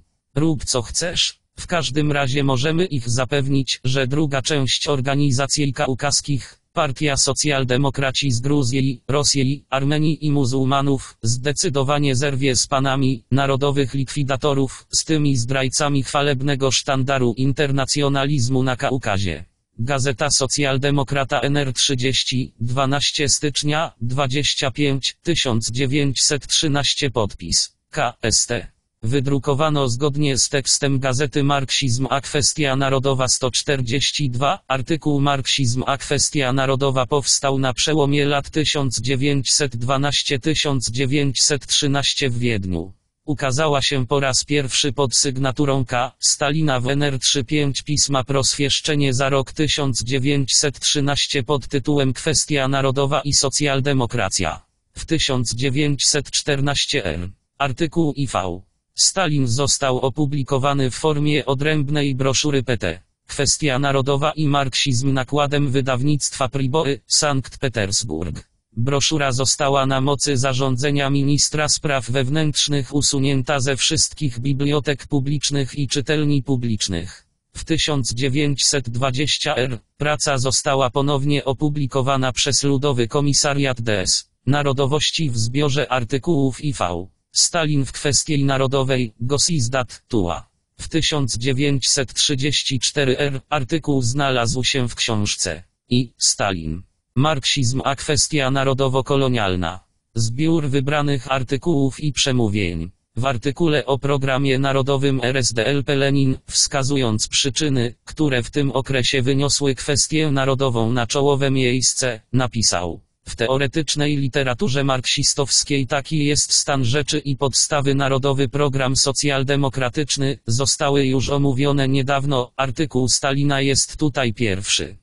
W lutym, NS 1913 Włodzimierz Ilicz napisał do AM. Gorki. Mamy jednego wspaniałego Gruzina, który siedzi i pisze duży artykuł dla proswieszczenije, zbierając wszystkie materiały austriackie i inne. Dowiedziawszy się, że zaproponowano uznanie artykułu za dyskusyjny, Lenin stanowczo się temu sprzeciwił. Oczywiście, my są temu absolutnie przeciwni. Artykuł jest bardzo dobry. To jest kwestia wojskowa i nie zrezygnujemy ani na jotę z naszego pryncypialnego stanowiska wobec bundowskiego drania, archiwum e-mail.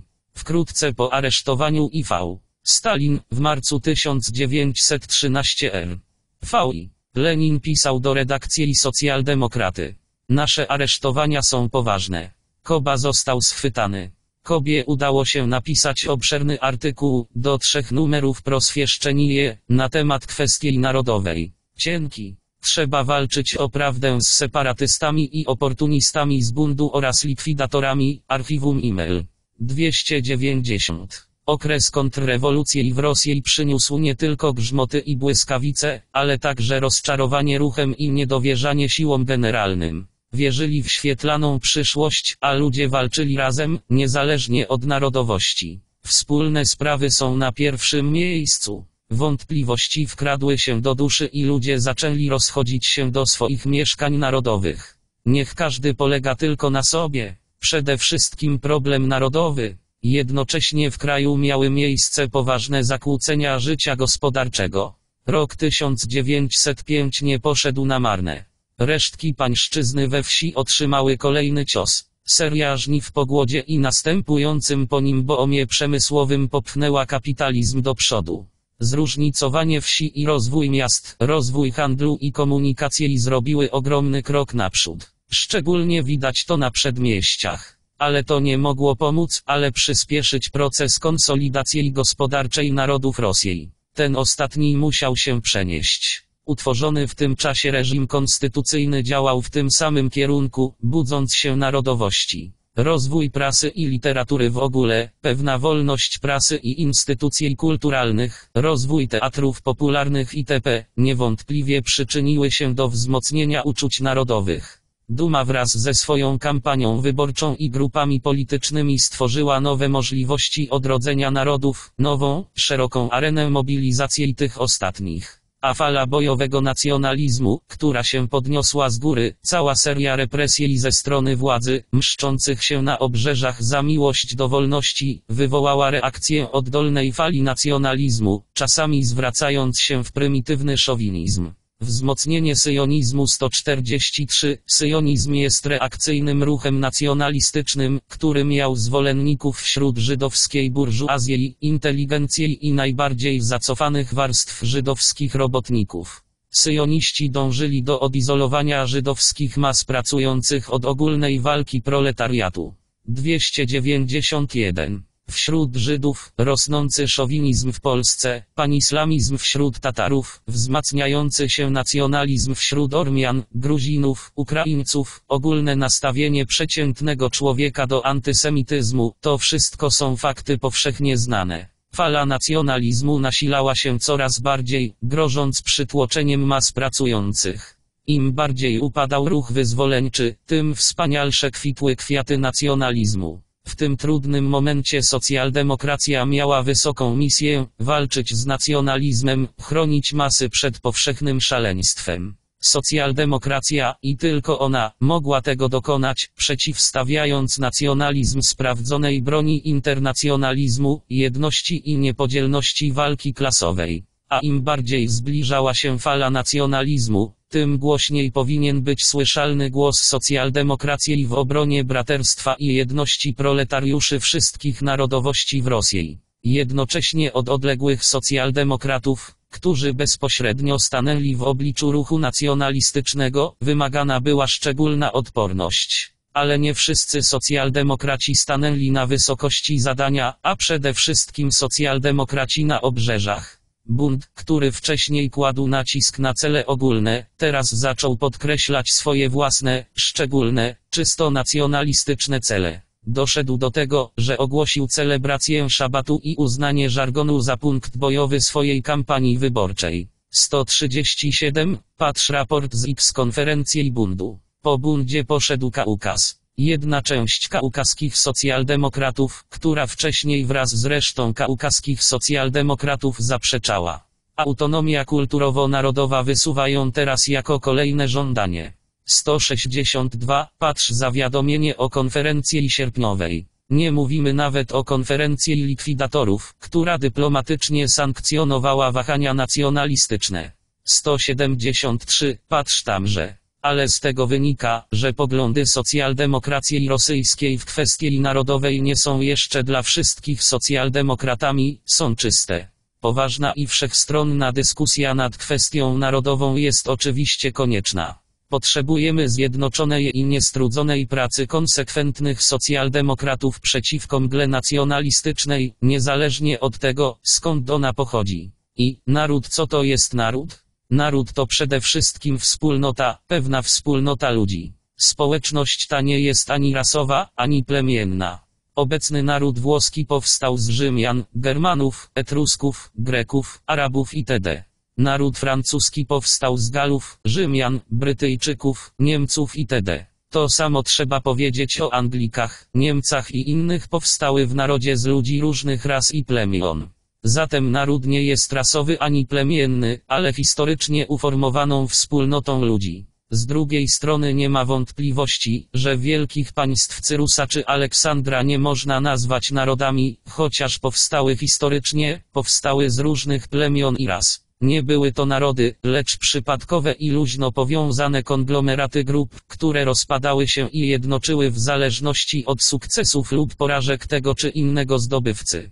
Zatem naród nie jest przypadkowym lub efemerycznym konglomeratem, ale stabilną wspólnotą ludzi. Ale nie każda stabilna społeczność tworzy naród. Austria i Rosja to także wspólnoty stabilne, choć nikt nie nazywa ich narodami. Czym różni się wspólnota narodowa od wspólnoty państwowej? Nawiasem mówiąc, nie można sobie wyobrazić wspólnoty narodowej bez wspólnego języka, podczas gdy wspólny język nie jest konieczny dla państwa. Naród czeski w Austrii i naród polski w Rosji nie byłyby możliwe bez wspólnego języka dla każdego z nich, natomiast integralności Rosji i Austrii nie utrudnia istnienie w ich obrębie szeregu języków. Mówimy oczywiście o językach potocznych, a nie oficjalnych, urzędniczych. czyli wspólny język, jako jedna z charakterystycznych cech narodu. Nie oznacza to oczywiście, że różne narody zawsze i wszędzie mówią różnymi językami lub że wszyscy posługujący się tym samym językiem tworzą koniecznie jeden naród. Wspólny język dla każdego narodu, ale niekoniecznie różne języki dla różnych narodów. Nie ma narodu, który mówi różnymi językami naraz, ale to nie znaczy, że nie mogą być dwa narody mówiące tym samym językiem. Anglicy i mieszkańcy Ameryki Północnej mówią tym samym językiem, a mimo to nie stanowią jednego narodu. To samo trzeba powiedzieć o Norwegach i Duńczykach, Anglikach i Irlandczykach, ale dlaczego na przykład Brytyjczycy i Amerykanie Ameryki Północnej nie tworzą jednego narodu, pomimo wspólnego języka? Przede wszystkim dlatego, że nie mieszkają razem, ale na różnych terytoriach. Naród powstaje dopiero w wyniku długotrwałej i regularnej komunikacji i w wyniku wspólnego życia ludzi z pokolenia na pokolenie.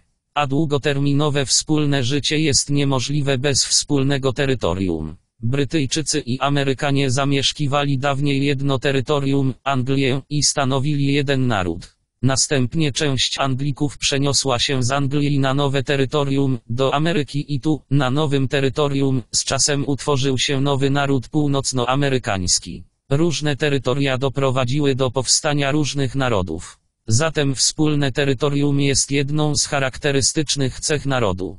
Ale to nie wszystko.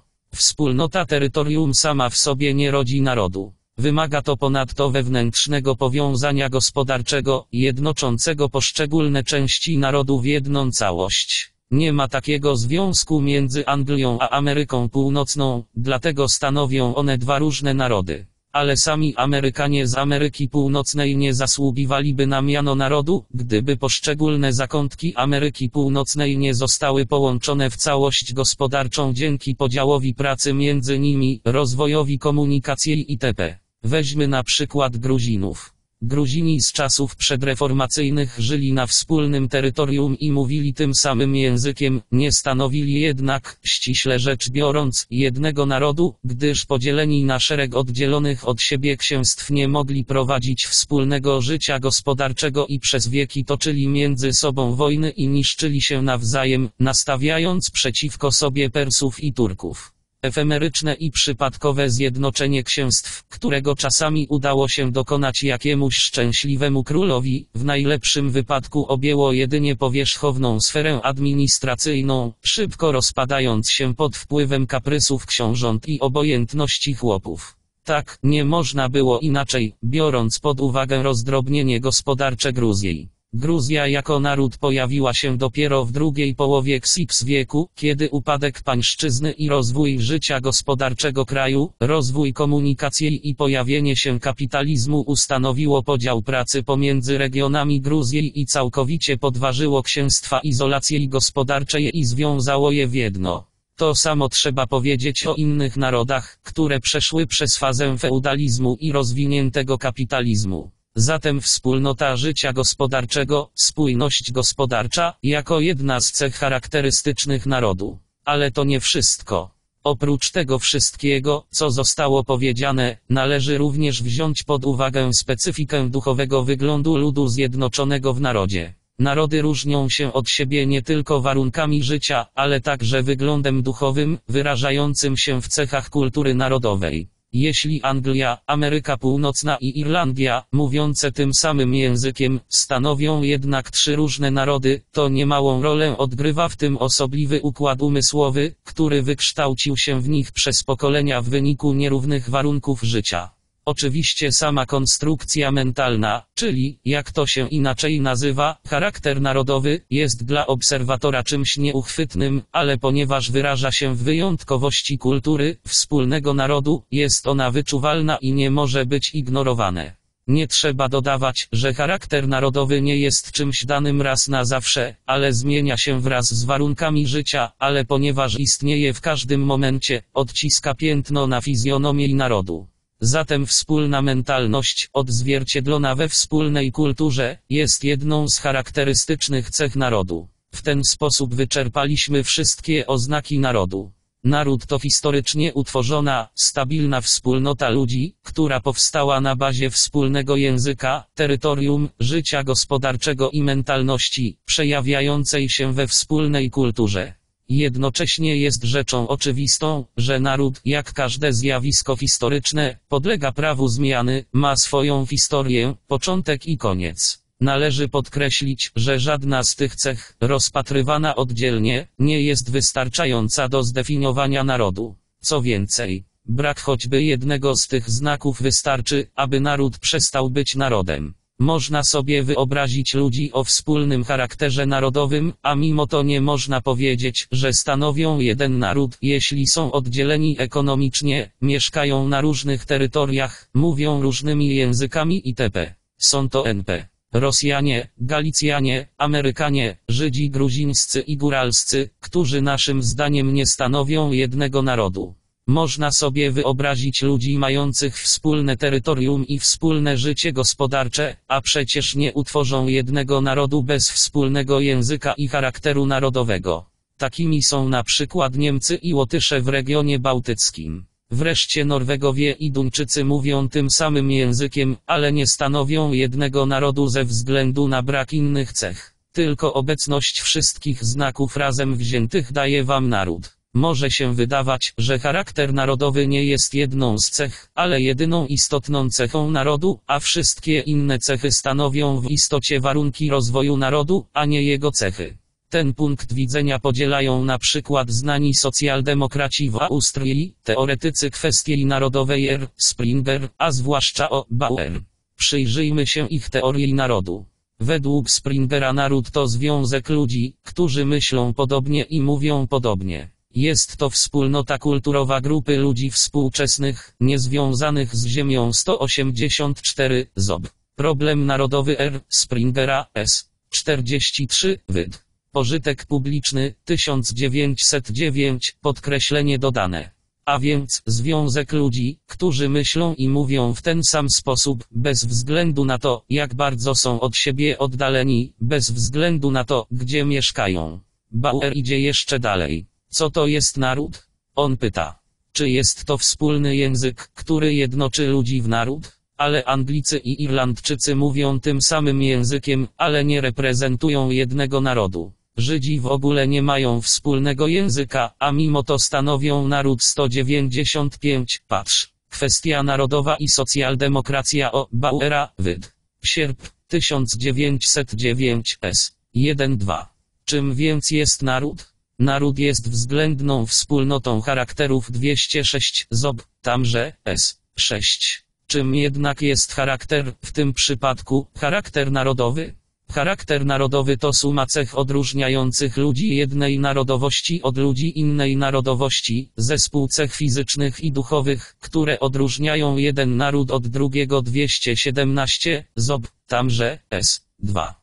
Bauer oczywiście wie, że charakter narodowy nie spada z nieba, dlatego dodaje.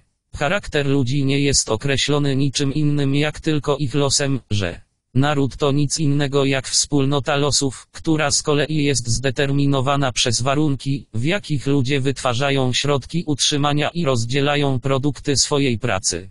228, patrz. Kwestia narodowa i socjaldemokracja o Bauera, wyd. Sierp, 1909 s. 24-25. W ten sposób dotarliśmy do najbardziej kompletnej, jak to ujmuje Bauer, definicji narodu. Naród to cały zbiór ludzi zjednoczonych wspólnotą charakterów na bazie wspólnoty losu 230, ZOB i BID. S. 139. A więc wspólnota charakteru narodowego oparta na wspólnocie losu, wzięta bez obligatoryjnego powiązania ze wspólnotą terytorium, języka i życia gospodarczego. Ale co pozostaje w tym przypadku narodu? O jakiej wspólnocie narodowej mogą mówić ludzie, którzy są od siebie oddzieleni ekonomicznie, mieszkają na różnych terytoriach i mówią różnymi językami z pokolenia na pokolenie? Bauer mówi o Żydach jako o narodzie, choć w ogóle nie mają wspólnego języka 138, Zob i Bid. S. 2. Ale o jakim wspólnym losie i spójności narodowej można mówić, bo na przykład wśród Żydów gruzińskich, dagestańskich, rosyjskich i amerykańskich, całkowicie od siebie oddzielonych, mieszkających na różnych terytoriach i mówiących różnymi językami? Wspomniani Żydzi niewątpliwie prowadzą wspólne życie gospodarcze i polityczne z Gruzinami, Dagestańczykami, Rosjanami i Amerykanami, we wspólnej atmosferze kulturalnej. Nie może to nie pozostawić śladu na ich narodowym charakterze. Jeśli cokolwiek ich łączyło, to była to religia, wspólne pochodzenie i pewne pozostałości charakteru narodowego. Wszystko to jest pewne. Jak jednak można poważnie twierdzić, że skostniałe rytuały religijne i niszczące pozostałości psychologiczne mają większy wpływ na losy wspomnianych Żydów niż otaczające ich żywe środowisko społeczno-gospodarcze i kulturowe? Ale tylko przy takim założeniu można mówić o Żydach w ogóle jako o jednym narodzie. Czym zatem naród Bauera różni się od mistycznego i samowystarczalnego ducha narodowego spirytystów? Bauer kreśli nieprzekraczalną granicę pomiędzy odrębną cechą narodu, charakterem narodowym, a warunkami jego życia, oddzielając je od siebie. Czym jednak jest charakter narodowy, jeśli nie odbiciem warunków życia, jeśli nie zbiorem wrażeń otrzymanych z otoczenia? Jak można ograniczyć się wyłącznie do charakteru narodowego, izolując go i oddzielając od gleby, która go zrodziła? Czym więc w rzeczywistości naród angielski różnił się od narodu północnoamerykańskiego końca XVII i początku XI wieku, kiedy Amerykę Północną nadal nazywano Nową Anglią? Z pewnością nie charakter narodowy. Mieszkańcy Ameryki Północnej byli bowiem imigrantami z Anglii, zabrali ze sobą do Ameryki, oprócz języka angielskiego, angielski charakter narodowy i oczywiście nie mogli go tak szybko utracić, choć pod wpływem w nowych warunkach musiały one nabrać własnego, szczególnego charakteru. A jednak, pomimo większej lub mniejszej podobieństwa charakterów, stanowili już naród odrębny od Anglii. Oczywiście Nowa Anglia jako naród różniła się wówczas od Anglii jako narodu nie swoim szczególnym charakterem narodowym, ani nie tyle swoim charakterem narodowym, ale szczególnym środowiskiem i warunkami życia od Anglii. Jasne jest zatem, że w rzeczywistości nie ma jednej cechy wyróżniającej naród. Istnieje tylko suma cech, z których przy porównywaniu narodów wyraźniej wyróżnia się jedna cecha, charakter narodowy, potem druga, język, a następnie trzecia, terytorium, warunki ekonomiczne. Naród reprezentuje kombinację wszystkich cech razem wziętych. Punkt widzenia Bauera, utożsamiający naród z charakterem narodowym, wyrywa naród z ziemi i zamienia go w jakąś niewidzialną, samowystarczalną siłę. Rezultatem nie jest naród żywy i aktywny, ale coś mistycznego, nieuchwytnego i pozagrobowego. Bo, powtarzam, co to za naród żydowski, na przykład składający się z Żydów gruzińskich, dagestańskich, rosyjskich, amerykańskich i innych, których członkowie nie rozumieją się, mówią różnymi językami, mieszkają w różnych częściach globu, nigdy się nie znali, nigdy nie będą działać razem, ani w czasie pokoju, ani w czasie wojny. Nie, nie dla takich papierowych narodów socjaldemokracja sporządza swój program narodowy. Może brać pod uwagę jedynie rzeczywiste narody, działające i poruszające się, a przez to zmuszające się do uwzględnienia. Bauer oczywiście myli naród, który jest kategorią historyczną, z plemieniem, które jest kategorią etnograficzną. Jednak sam Bauer najwyraźniej wyczuwa słabość swojej pozycji. Stwierdziwszy zdecydowanie na początku swojej książki o Żydach jako narodzie, 139, patrz strona 2 swojej książki. Bauer poprawia się na końcu książki, twierdząc, że społeczeństwo kapitalistyczne nie pozwala im, Żydom, w ogóle przetrwać jako naród 140, Zob i Bid. S. 389. Asymilując ich z innymi narodami. Okazuje się, że powodem jest to, że Żydzi nie mają zamkniętego obszaru kolonizacyjnego 141, patrzes 388. Podczas gdy taki obszar istnieje NP, wśród Czechów, którzy według Bauera muszą przetrwać jako naród. W skrócie.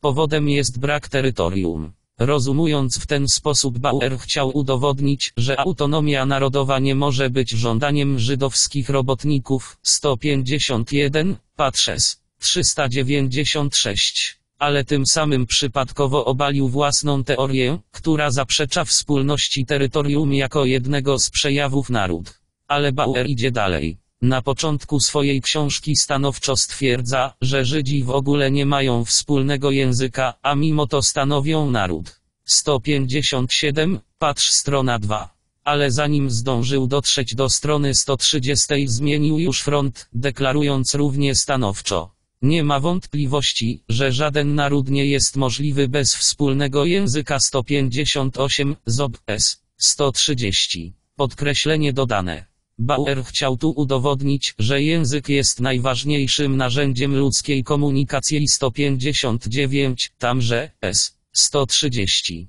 Ale jednocześnie przypadkowo udowodnił coś, czego nie miał zamiaru udowadniać, a mianowicie niespójność własnej teorii narodu, zaprzeczając znaczeniu wspólnego języka. W ten sposób obala się teoria poszyta idealistycznymi wątkami. Jej ruch narodowy naród to nie tylko kategoria historyczna, ale kategoria historyczna pewnej epoki, epoki wschodzącego kapitalizmu. Proces eliminacji feudalizmu i rozwoju kapitalizmu jest jednocześnie procesem formowania ludzi w narody. Tak dzieje się na przykład w Europie Zachodniej. Brytyjczycy, Francuzi, Niemcy, Włosi i inni utworzyli naród podczas zwycięskiego marszu kapitalizmu triumfującego nad fragmentacją feudalną. Ale powstanie tam narodów oznaczało także ich przekształcenie w niezależne państwa narodowe. Angielski, francuski i inne narody są jednocześnie angielskimi i innymi państwami. Pozostawienie Irlandii poza tym procesem nie zmienia ogólnego obrazu. Nieco inaczej jest w Europie Wschodniej. Podczas gdy na zachodzie narody rozwinęły się w państwa, na wschodzie powstały państwa międzynarodowe, składające się z kilku narodowości. Są to Austro-Węgry i Rosja. W Austrii Niemcy okazali się najbardziej rozwinięci politycznie, wzięli na siebie zadanie zjednoczenia narodowości austriackich w państwo. Na Węgrzech najlepiej przystosowani do organizacji państwowej okazali się Węgrzy, rdzeń narodowości węgierskich, to oni są także jednoczycielami Węgier. W Rosji rolę zjednoczenia narodowości przejęli wielcy Rosjanie, na czele których stała historycznie silna i zorganizowana szlachecka biurokracja wojskowa. Tak się działo na wschodzie. Ta wyjątkowa metoda tworzenia państw mogła mieć miejsce jedynie w warunkach niewyeliminowanego jeszcze feudalizmu, w warunkach słabo rozwiniętego kapitalizmu, kiedy schodzące na dalszy plan narodowości nie miały jeszcze czasu na ekonomiczne skonsolidowanie się w narody integralne. Ale kapitalizm zaczyna się rozwijać w krajach wschodnich. Rozwija się handel i komunikacja. Powstają duże miasta. Narody konsolidują się gospodarczo. Kapitalizm, który wdarł się w spokojne życie represjonowanych narodowości, porusza je i wprawia w ruch rozwój prasy i teatru, działalność Reichsratu w Austrii i Dumy w Rosji, przyczyniają się do wzmocnienia uczuć narodowych. Rodząca się inteligencja jest przepojona ideą narodową i działa w tym samym kierunku. Ale wysiedlone narody, które obudziły się do samodzielnego życia, nie tworzą już niezależnych państw narodowych napotykają na swojej drodze najsilniejszy sprzeciw ze strony czołowych warstw narodów rządzących, które od dawna stoją na czele państwa. Późno. W ten sposób Czesi, Polacy itd. tworzą w Austrii narody. Chorwaci itp. na Węgrzech. Łotysze, Litwini, Ukraińcy, Gruzini, Ormianie itp. w Rosji. To, co było wyjątkiem w Europie Zachodniej, Irlandia, na wschodzie stało się regułą. Na zachodzie Irlandia odpowiedziała na swój stan wyjątkowy ruchem narodowym.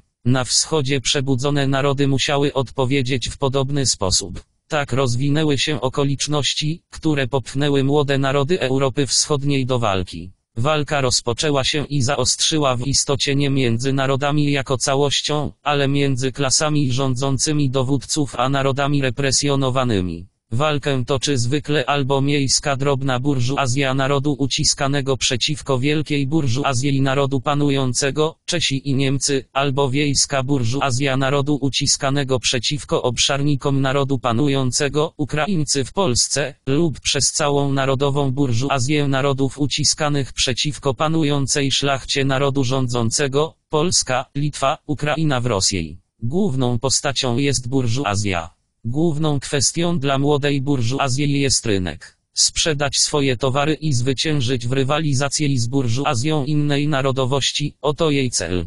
Stąd jej chęć zabezpieczenia własnego, rodzimego rynku. Rynek jest pierwszą szkołą, w której burżuazja uczy się nacjonalizmu. Ale sprawa zwykle nie ogranicza się do rynku.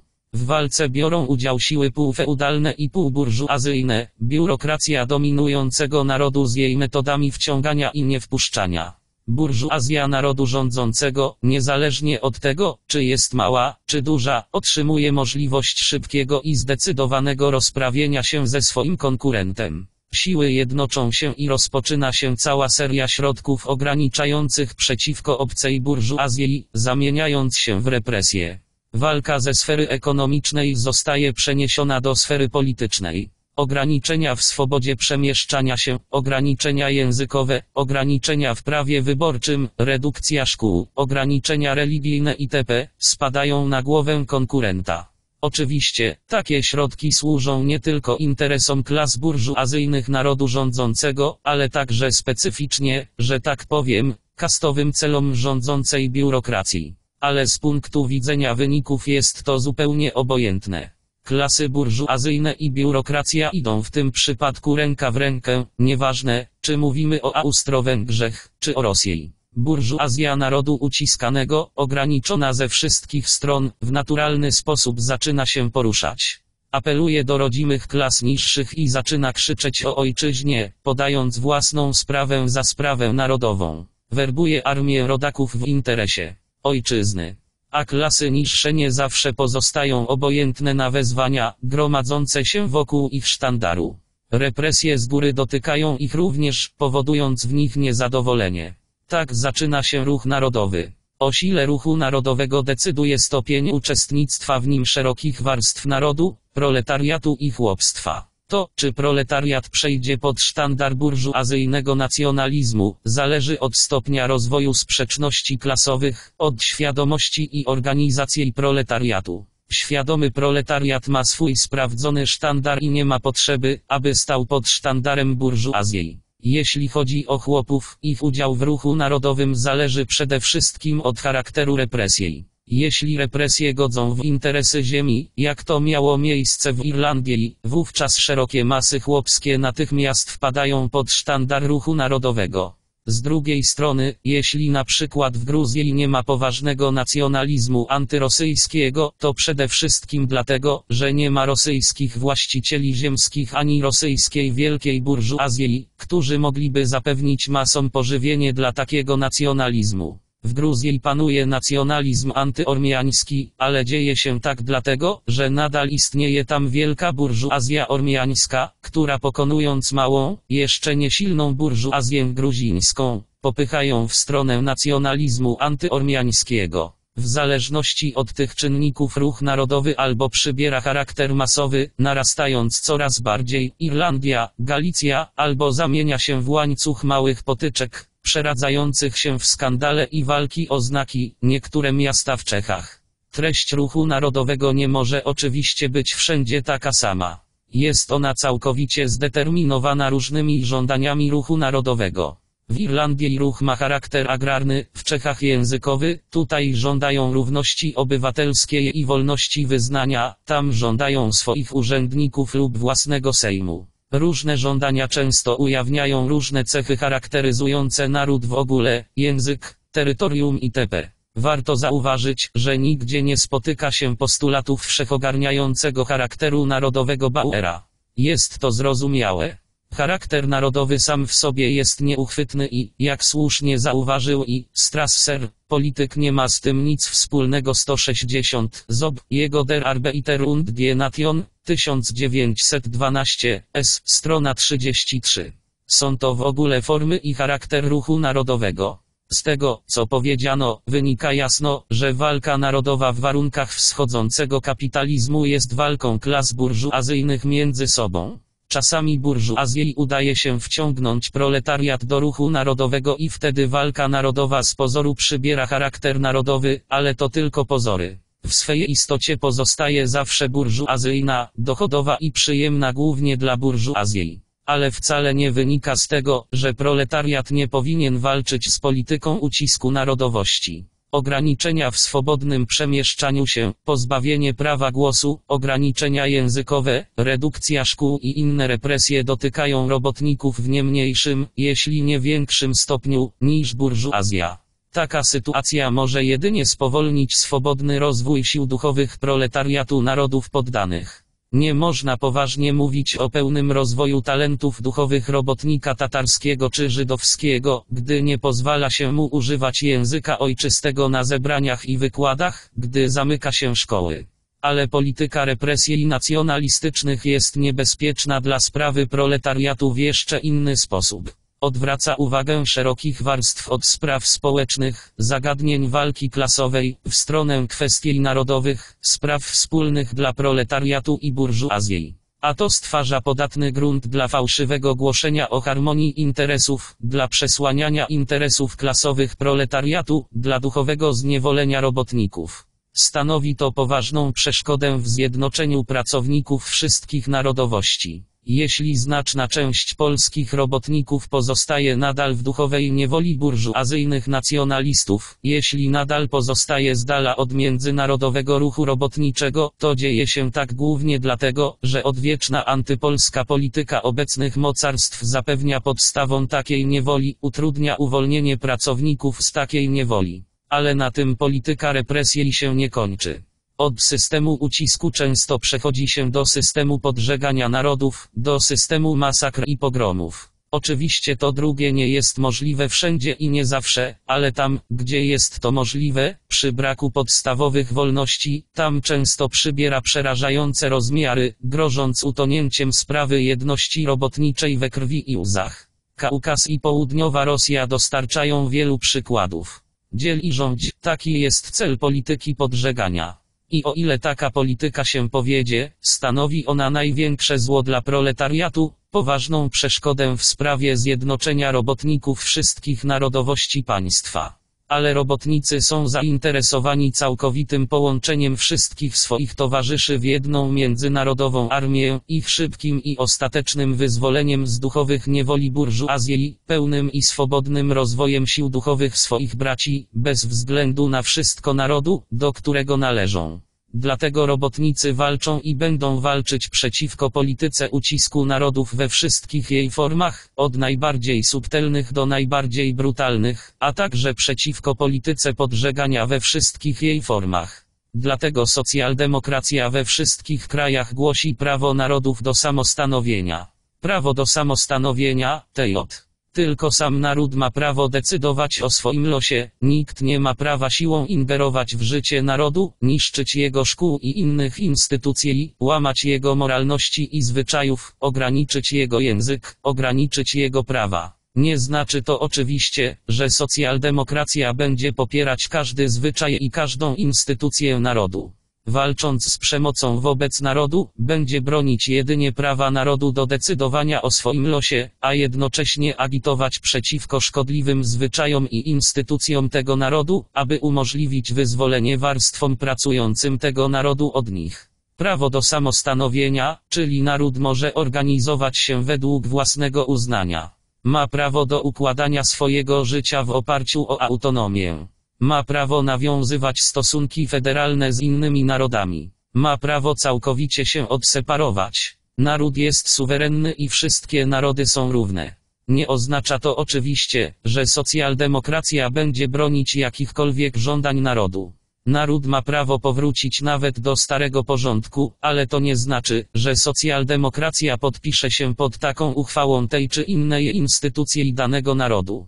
Obowiązki socjaldemokracji, która broni interesów proletariatu, a prawa narodu składającego się z różnych klas, to dwie różne rzeczy. Walcząc o prawo narodów do samostanowienia, socjaldemokracja stawia sobie za cel położenie kresu polityce ucisku narodu, uniemożliwienie jej, a przez to podważenie walki narodów, otępienie jej, sprowadzenie do minimum. To znacząco odróżnia politykę świadomego proletariatu od polityki burżuazji, która stara się pogłębiać i rozdmuchać walkę narodową, kontynuować i intensyfikować ruch narodowy. Dlatego świadomy proletariat nie może dostać się pod narodowy sztandar burżuazji. Dlatego proponowana przez Bauera tak zwana polityka ewolucyjno-narodowa nie może stać się polityką proletariatu.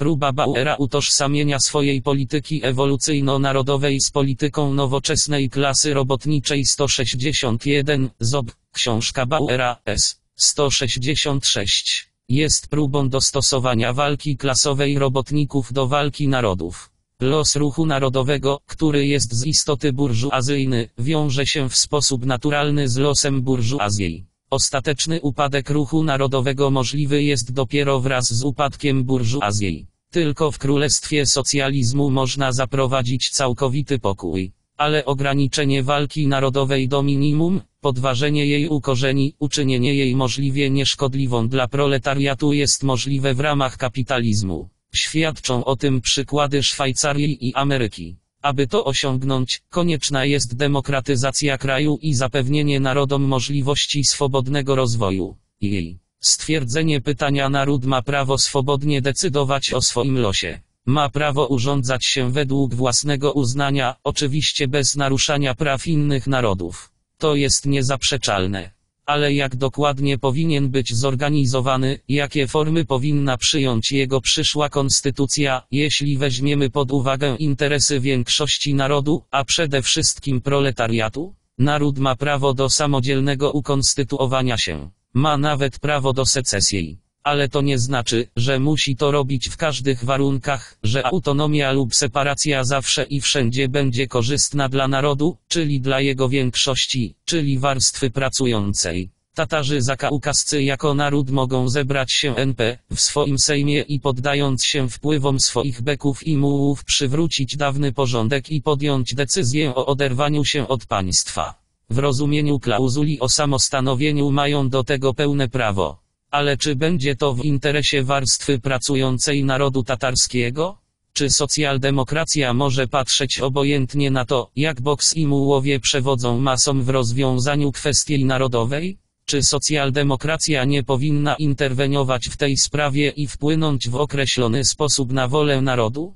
Czy nie powinna zaproponować konkretnego planu rozwiązania sprawy, który będzie najkorzystniejszy dla mas tatarskich? które jednak rozwiązanie jest najbardziej zgodne z interesami mas pracujących? Autonomia, federacja czy separacja? To wszystko są pytania, których rozwiązanie zależy od konkretnych warunków historycznych otaczających dany naród. Ponadto, warunki, jak wszystko, zmieniają się, a decyzja słuszna w danym momencie może okazać się całkowicie nie do przyjęcia w innym momencie. W połowie XIV Marx był zwolennikiem podziału Polski rosyjskiej i miał rację, bo wtedy chodziło o wyzwolenie kultury wyższej od niszczącej ją kultury niższej. A zatem pytanie dotyczyło nie tylko teorii, nie akademickiej, ale praktycznej, w samym życiu. Już pod koniec XIV, polscy marksiści wypowiadali się przeciwko podziałowi Polski i też mieli rację, gdyż w ciągu ostatnich 50 lat nastąpiły głębokie zmiany w kierunku zbliżenia gospodarczego i kulturalnego Rosji i Polski. Ponadto w tym czasie kwestia oddzielenia się od przedmiotu praktyki stała się przedmiotem debaty akademickiej, zajmującej jedynie zagranicznych intelektualistów. Nie wyklucza to oczywiście możliwości pojawienia się pewnych koniunktur wewnętrznych i zewnętrznych, w których kwestia secesji Polski mogłaby ponownie wysunąć się na pierwszy plan. Wynika z tego, że rozwiązanie kwestii narodowej możliwe jest jedynie w powiązaniu z uwarunkowaniami historycznymi przyjętymi przy ich rozwoju. Warunki gospodarcze, polityczne i kulturowe otaczające dany naród są jedynym kluczem do zdecydowania, jak dokładnie powinien być zbudowany ten czy inny naród, jaką formę powinna przyjąć jego przyszła konstytucja. Możliwe, że każdy naród będzie potrzebował specjalnego rozwiązania problemu. Jeśli zachodzi potrzeba dialektycznego sformułowania kwestii, to właśnie tutaj, w kwestii narodowej. W związku z tym należy stanowczo sprzeciwić się jednemu, bardzo powszechnemu, ale i bardzo bezkrytycznemu sposobowi rozwiązania kwestii narodowej, który ma swoje źródło w bundzie. Mówimy o łatwym sposobie odniesienia się do austriackiej i południowosłowiańskiej 163. Południowosłowiańska socjaldemokracja działa na południu Austrii. Socjaldemokracja, która rzekomo rozwiązała już kwestię narodową i od której rosyjscy socjaldemokraci powinni po prostu zapożyczyć rozwiązanie.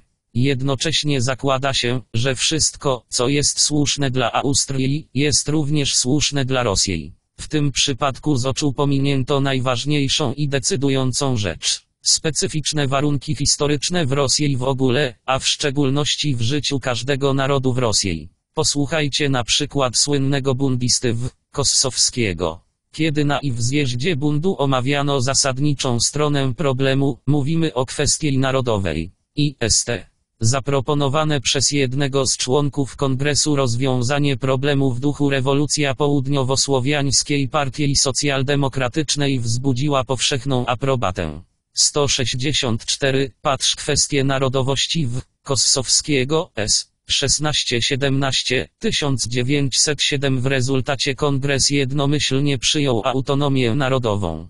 Lecz tylko żadnej analizy rosyjskiej rzeczywistości, żadnego wyjaśnienia warunków życia Żydów w Rosji. Najpierw zapożyczyli rozwiązanie od południowosłowiańskich socjaldemokratów, partię, następnie zatwierdzono, a następnie jednomyślnie zaakceptowano. Tak bundowcy stawiają i rozwiązują kwestię narodową w Rosji. Tymczasem Austria i Rosja przedstawiają zupełnie odmienne warunki. To wyjaśnia, że socjaldemokracja w Austrii, która przyjęła program narodowy w Brunn 1899-144 Brunn Partytag, Kongres Austriackiej Socjaldemokracji odbył się w dniach 12-17 września 24-29 1899 Tekst uchwały przyjętej przez partię w sprawie krajowej podaje IV. Stalina w kolejnym rozdziale tego dzieła, por s. 321-322. 315. W duchu uchwały południowosłowiańskich socjaldemokratów, partia, choć z drobnymi poprawkami, podchodzi do sprawy całkowicie, że tak powiem, nie rosyjsko i oczywiście nie rozwiązuje jej po rosyjsku. Przede wszystkim postawienie pytania. Jak na to pytanie stawiają austriaccy teoretycy autonomii kulturowo-narodowej, interpretatorzy Narodowego Programu Brunn i uchwały południowosłowiańskiej Partii Socjaldemokratycznej, Springer i Bauer? Pozostawiamy tutaj, mówi Springer, bez odpowiedzi pytanie, czy w ogóle możliwe jest państwo narodowościowe i czy w szczególności narodowości austriackie są zmuszone do tworzenia jednej politycznej całości. Kwestie te uznamy za rozwiązane. Dla każdego, kto nie zgadza się ze wspomnianą możliwością i koniecznością, nasze badania będą oczywiście bezpodstawne. Naszym tematem jest, te narody są zmuszone żyć razem. Jakie formy prawne umożliwią im najlepsze życie? Kursywa Springera. 165. Zobacz problem narodowy Springera S. 14. Punktem wyjścia jest zatem integralność państwowa Austrii. Bauer mówi to samo. Wychodzimy z założenia, że narody austriackie pozostaną w tej samej Unii Państwowej, w której obecnie żyją, i pytamy, jakie w ramach tej Unii będą stosunki narodów między sobą i wszystkimi do państwo 166. Patrz kwestia narodowa i socjaldemokracja Bauer S. 399. Powtarzam. Integralność Austrii jest naszym pierwszym obowiązkiem. Czy rosyjska socjaldemokracja może postawić to pytanie w ten sposób? Nie on nie może. A nie może, bo od początku stoi na stanowisku samostanowienia narodów, na mocy którego naród ma prawo do secesji. Nawet bundowiec Goldblatt przyznał na drugim zjeździe rosyjskiej socjaldemokracji, że ta ostatnia nie może porzucić punktu widzenia samostanowienia. Oto co wówczas powiedział Goldblatt. Nic nie może sprzeciwiać się prawu do samostanowienia. Jeśli naród walczy o niepodległość, nie można mu się oprzeć. Jeśli Polska nie chce zawrzeć legalnego małżeństwa z Rosją, to nie do nas należy jego powstrzymywanie. Wszystko to jest prawdą. Ale z tego wynika, że były to punkty wyjścia austriackiej i rosyjskiej socjaldemokracji. Nie tylko nie są one takie same, ale wręcz przeciwnie, są wprost przeciwne. Czy można po tym mówić o możliwości zapożyczenia od Austriaków programu narodowego? Dalej. Austriacy myślą o urzeczywistnieniu wolności narodowościowej poprzez drobne reformy, w wolnym tempie.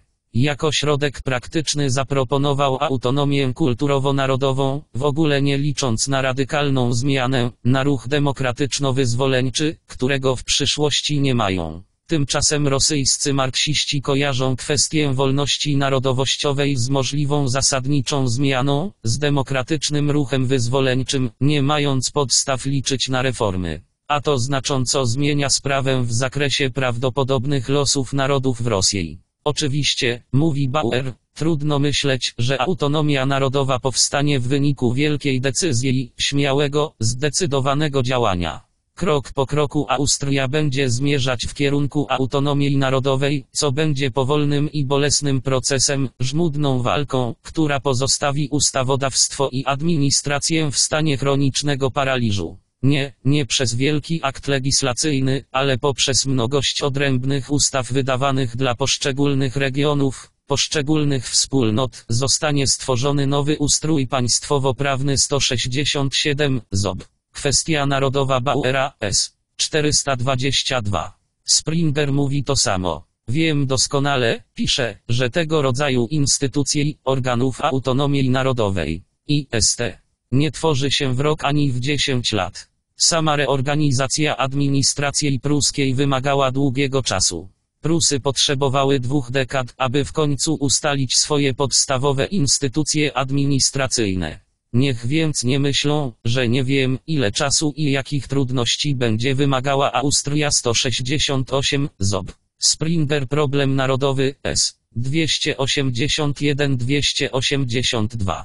To wszystko jest bardzo pewne. Ale czy rosyjscy marksiści nie mogą połączyć kwestii narodowej ze śmiałymi, zdecydowanymi działaniami? Czy mogą liczyć na częściowe reformy, na wiele odrębnych ustaw, jako sposób na zdobycie wolności narodowości? A jeśli nie mogą i nie powinni tego robić, to czy nie wynika z tego jasno, że metody walki i perspektywy Austriaków i Rosjan są zupełnie odmienne? Jak można w takiej sytuacji ograniczyć się do jednostronnej i połowicznej autonomii kulturowo-narodowej Austriaków? Jedna z dwóch rzeczy. Albo zwolennicy zaciągania pożyczek nie liczą w Rosji na zdecydowane i odważne działania, albo liczą na nie, ale nie wiedzą, co czynią. Wreszcie przed Rosją i Austrią stoją zupełnie inne doraźne zadania, dlatego też inny jest sposób rozwiązania kwestii narodowej. Austria żyje w warunkach parlamentaryzmu, bez parlamentu w obecnych warunkach rozwój jest niemożliwy.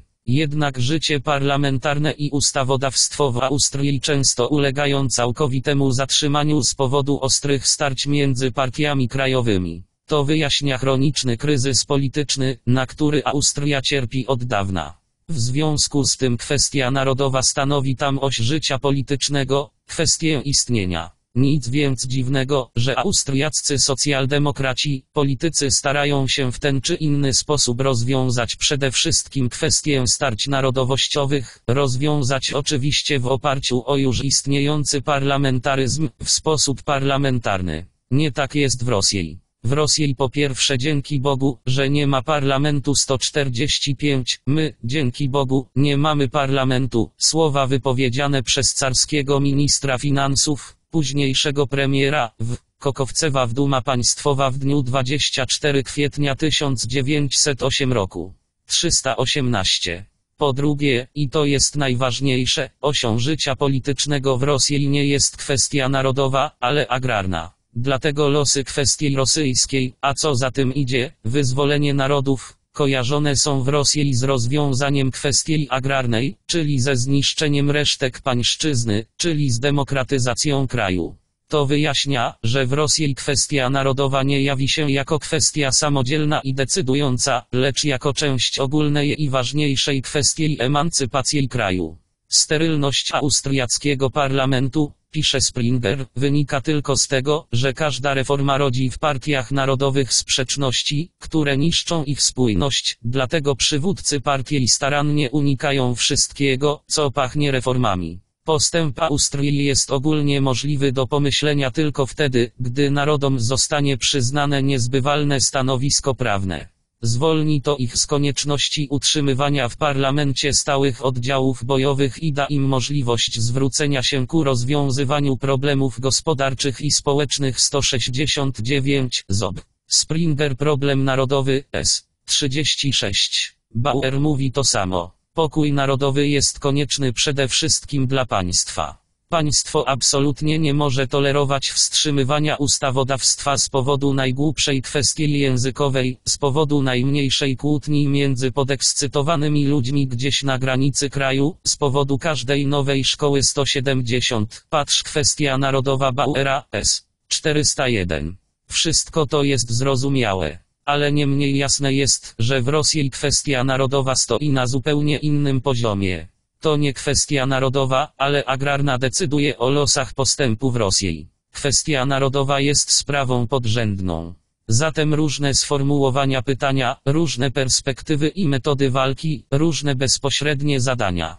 Czy nie jest jasne, że w takim stanie rzeczy jedynie papierowi ludzie, którzy rozwiązują kwestię narodową poza przestrzenią i czasem, mogą brać przykłady z Austrii i pożyczać program? Jeszcze raz. Specyficzne warunki historyczne jako punkt wyjścia, dialektyczne sformułowanie kwestii jako jedyne słuszne sformułowanie, oto klucz do rozwiązania kwestii narodowej. W Autonomia kulturowo-narodowa powyżej mówiliśmy o stronie formalnej austriackiego programu narodowego, o podstawach metodologicznych, dla których rosyjscy marksiści nie mogą po prostu wziąć przykładu z austriackiej socjaldemokracji i uczynić jej program swoim własnym. Porozmawiajmy teraz o samym programie w istocie. Jaki jest zatem program narodowy austriackich socjaldemokratów? Wyraża się ona w dwóch słowach. Autonomia kulturowo-narodowa. Oznacza to, po pierwsze, że autonomię przyznaje się nie powiedzmy Czechom czy Polsce, zamieszkanej głównie przez Czechów i Polaków, ale w ogóle Czechom i Polakom, niezależnie od terytorium, nie ma znaczenia jaki obszar zamieszkują Austrię. Dlatego autonomię tę nazywa się narodową, a nie terytorialną. Oznacza to po drugie, że Czesi, Polacy, Niemcy itd. rozproszeni po różnych zakątkach Austrii, brani osobiście, jako jednostki, zorganizowani są w integralne narody i jako tacy stanowią część państwa austriackiego. Austria reprezentowałaby wówczas nie Związek Regionów Autonomicznych, ale Związek Autonomicznych Narodowości utworzony niezależnie od terytorium. Oznacza to po trzecie, że instytucje narodowe, które w tym celu powinny być tworzone dla Polaków, Czechów itp., nie będą zajmować się sprawami politycznymi, a jedynie kulturalnymi. Konkretne kwestie polityczne będą skupiać się w ogólnoaustriackim parlamencie, Reichsrat. Dlatego autonomię tę nazywa się także kulturową, kulturowo-narodową. A oto tekst programu przyjętego przez austriacką socjaldemokrację na kongresie w Brunn w 1899 171 głosowali za nim także przedstawiciele południowosłowiańskich socjaldemokratów imprezy. Patrz debata na temat kwestii narodowej w partii Brin S. 72, 1906 wspominając, że konflikty narodowe w Austrii utrudniają postęp polityczny, że ostateczne rozwiązanie kwestii narodowej jest przede wszystkim koniecznością kulturową, że rozwiązanie jest możliwe jedynie w społeczeństwie prawdziwie demokratycznym, zbudowanym na i równe prawo wyborcze, kontynuuje program. Zachowanie i rozwój cech narodowych 172 w rosyjskim tłumaczeniu M. Panina, patrz książka Bauera w tłumaczeniu Panina, zamiast cech narodowych mówi się indywidualności narodowe. Panin błędnie przetłumaczył ten fragment. W języku niemieckim nie ma słowa indywidualność. Mówi się o nationalen Eigenart, czyli cechach dalekich od tego samego narodów Austrii jest możliwe tylko przy całkowitej równości i w brak jakiegokolwiek ucisku. Dlatego przede wszystkim należy odrzucić system biurokratycznego centralizmu państwowego i feudalne przywileje poszczególnych ziem.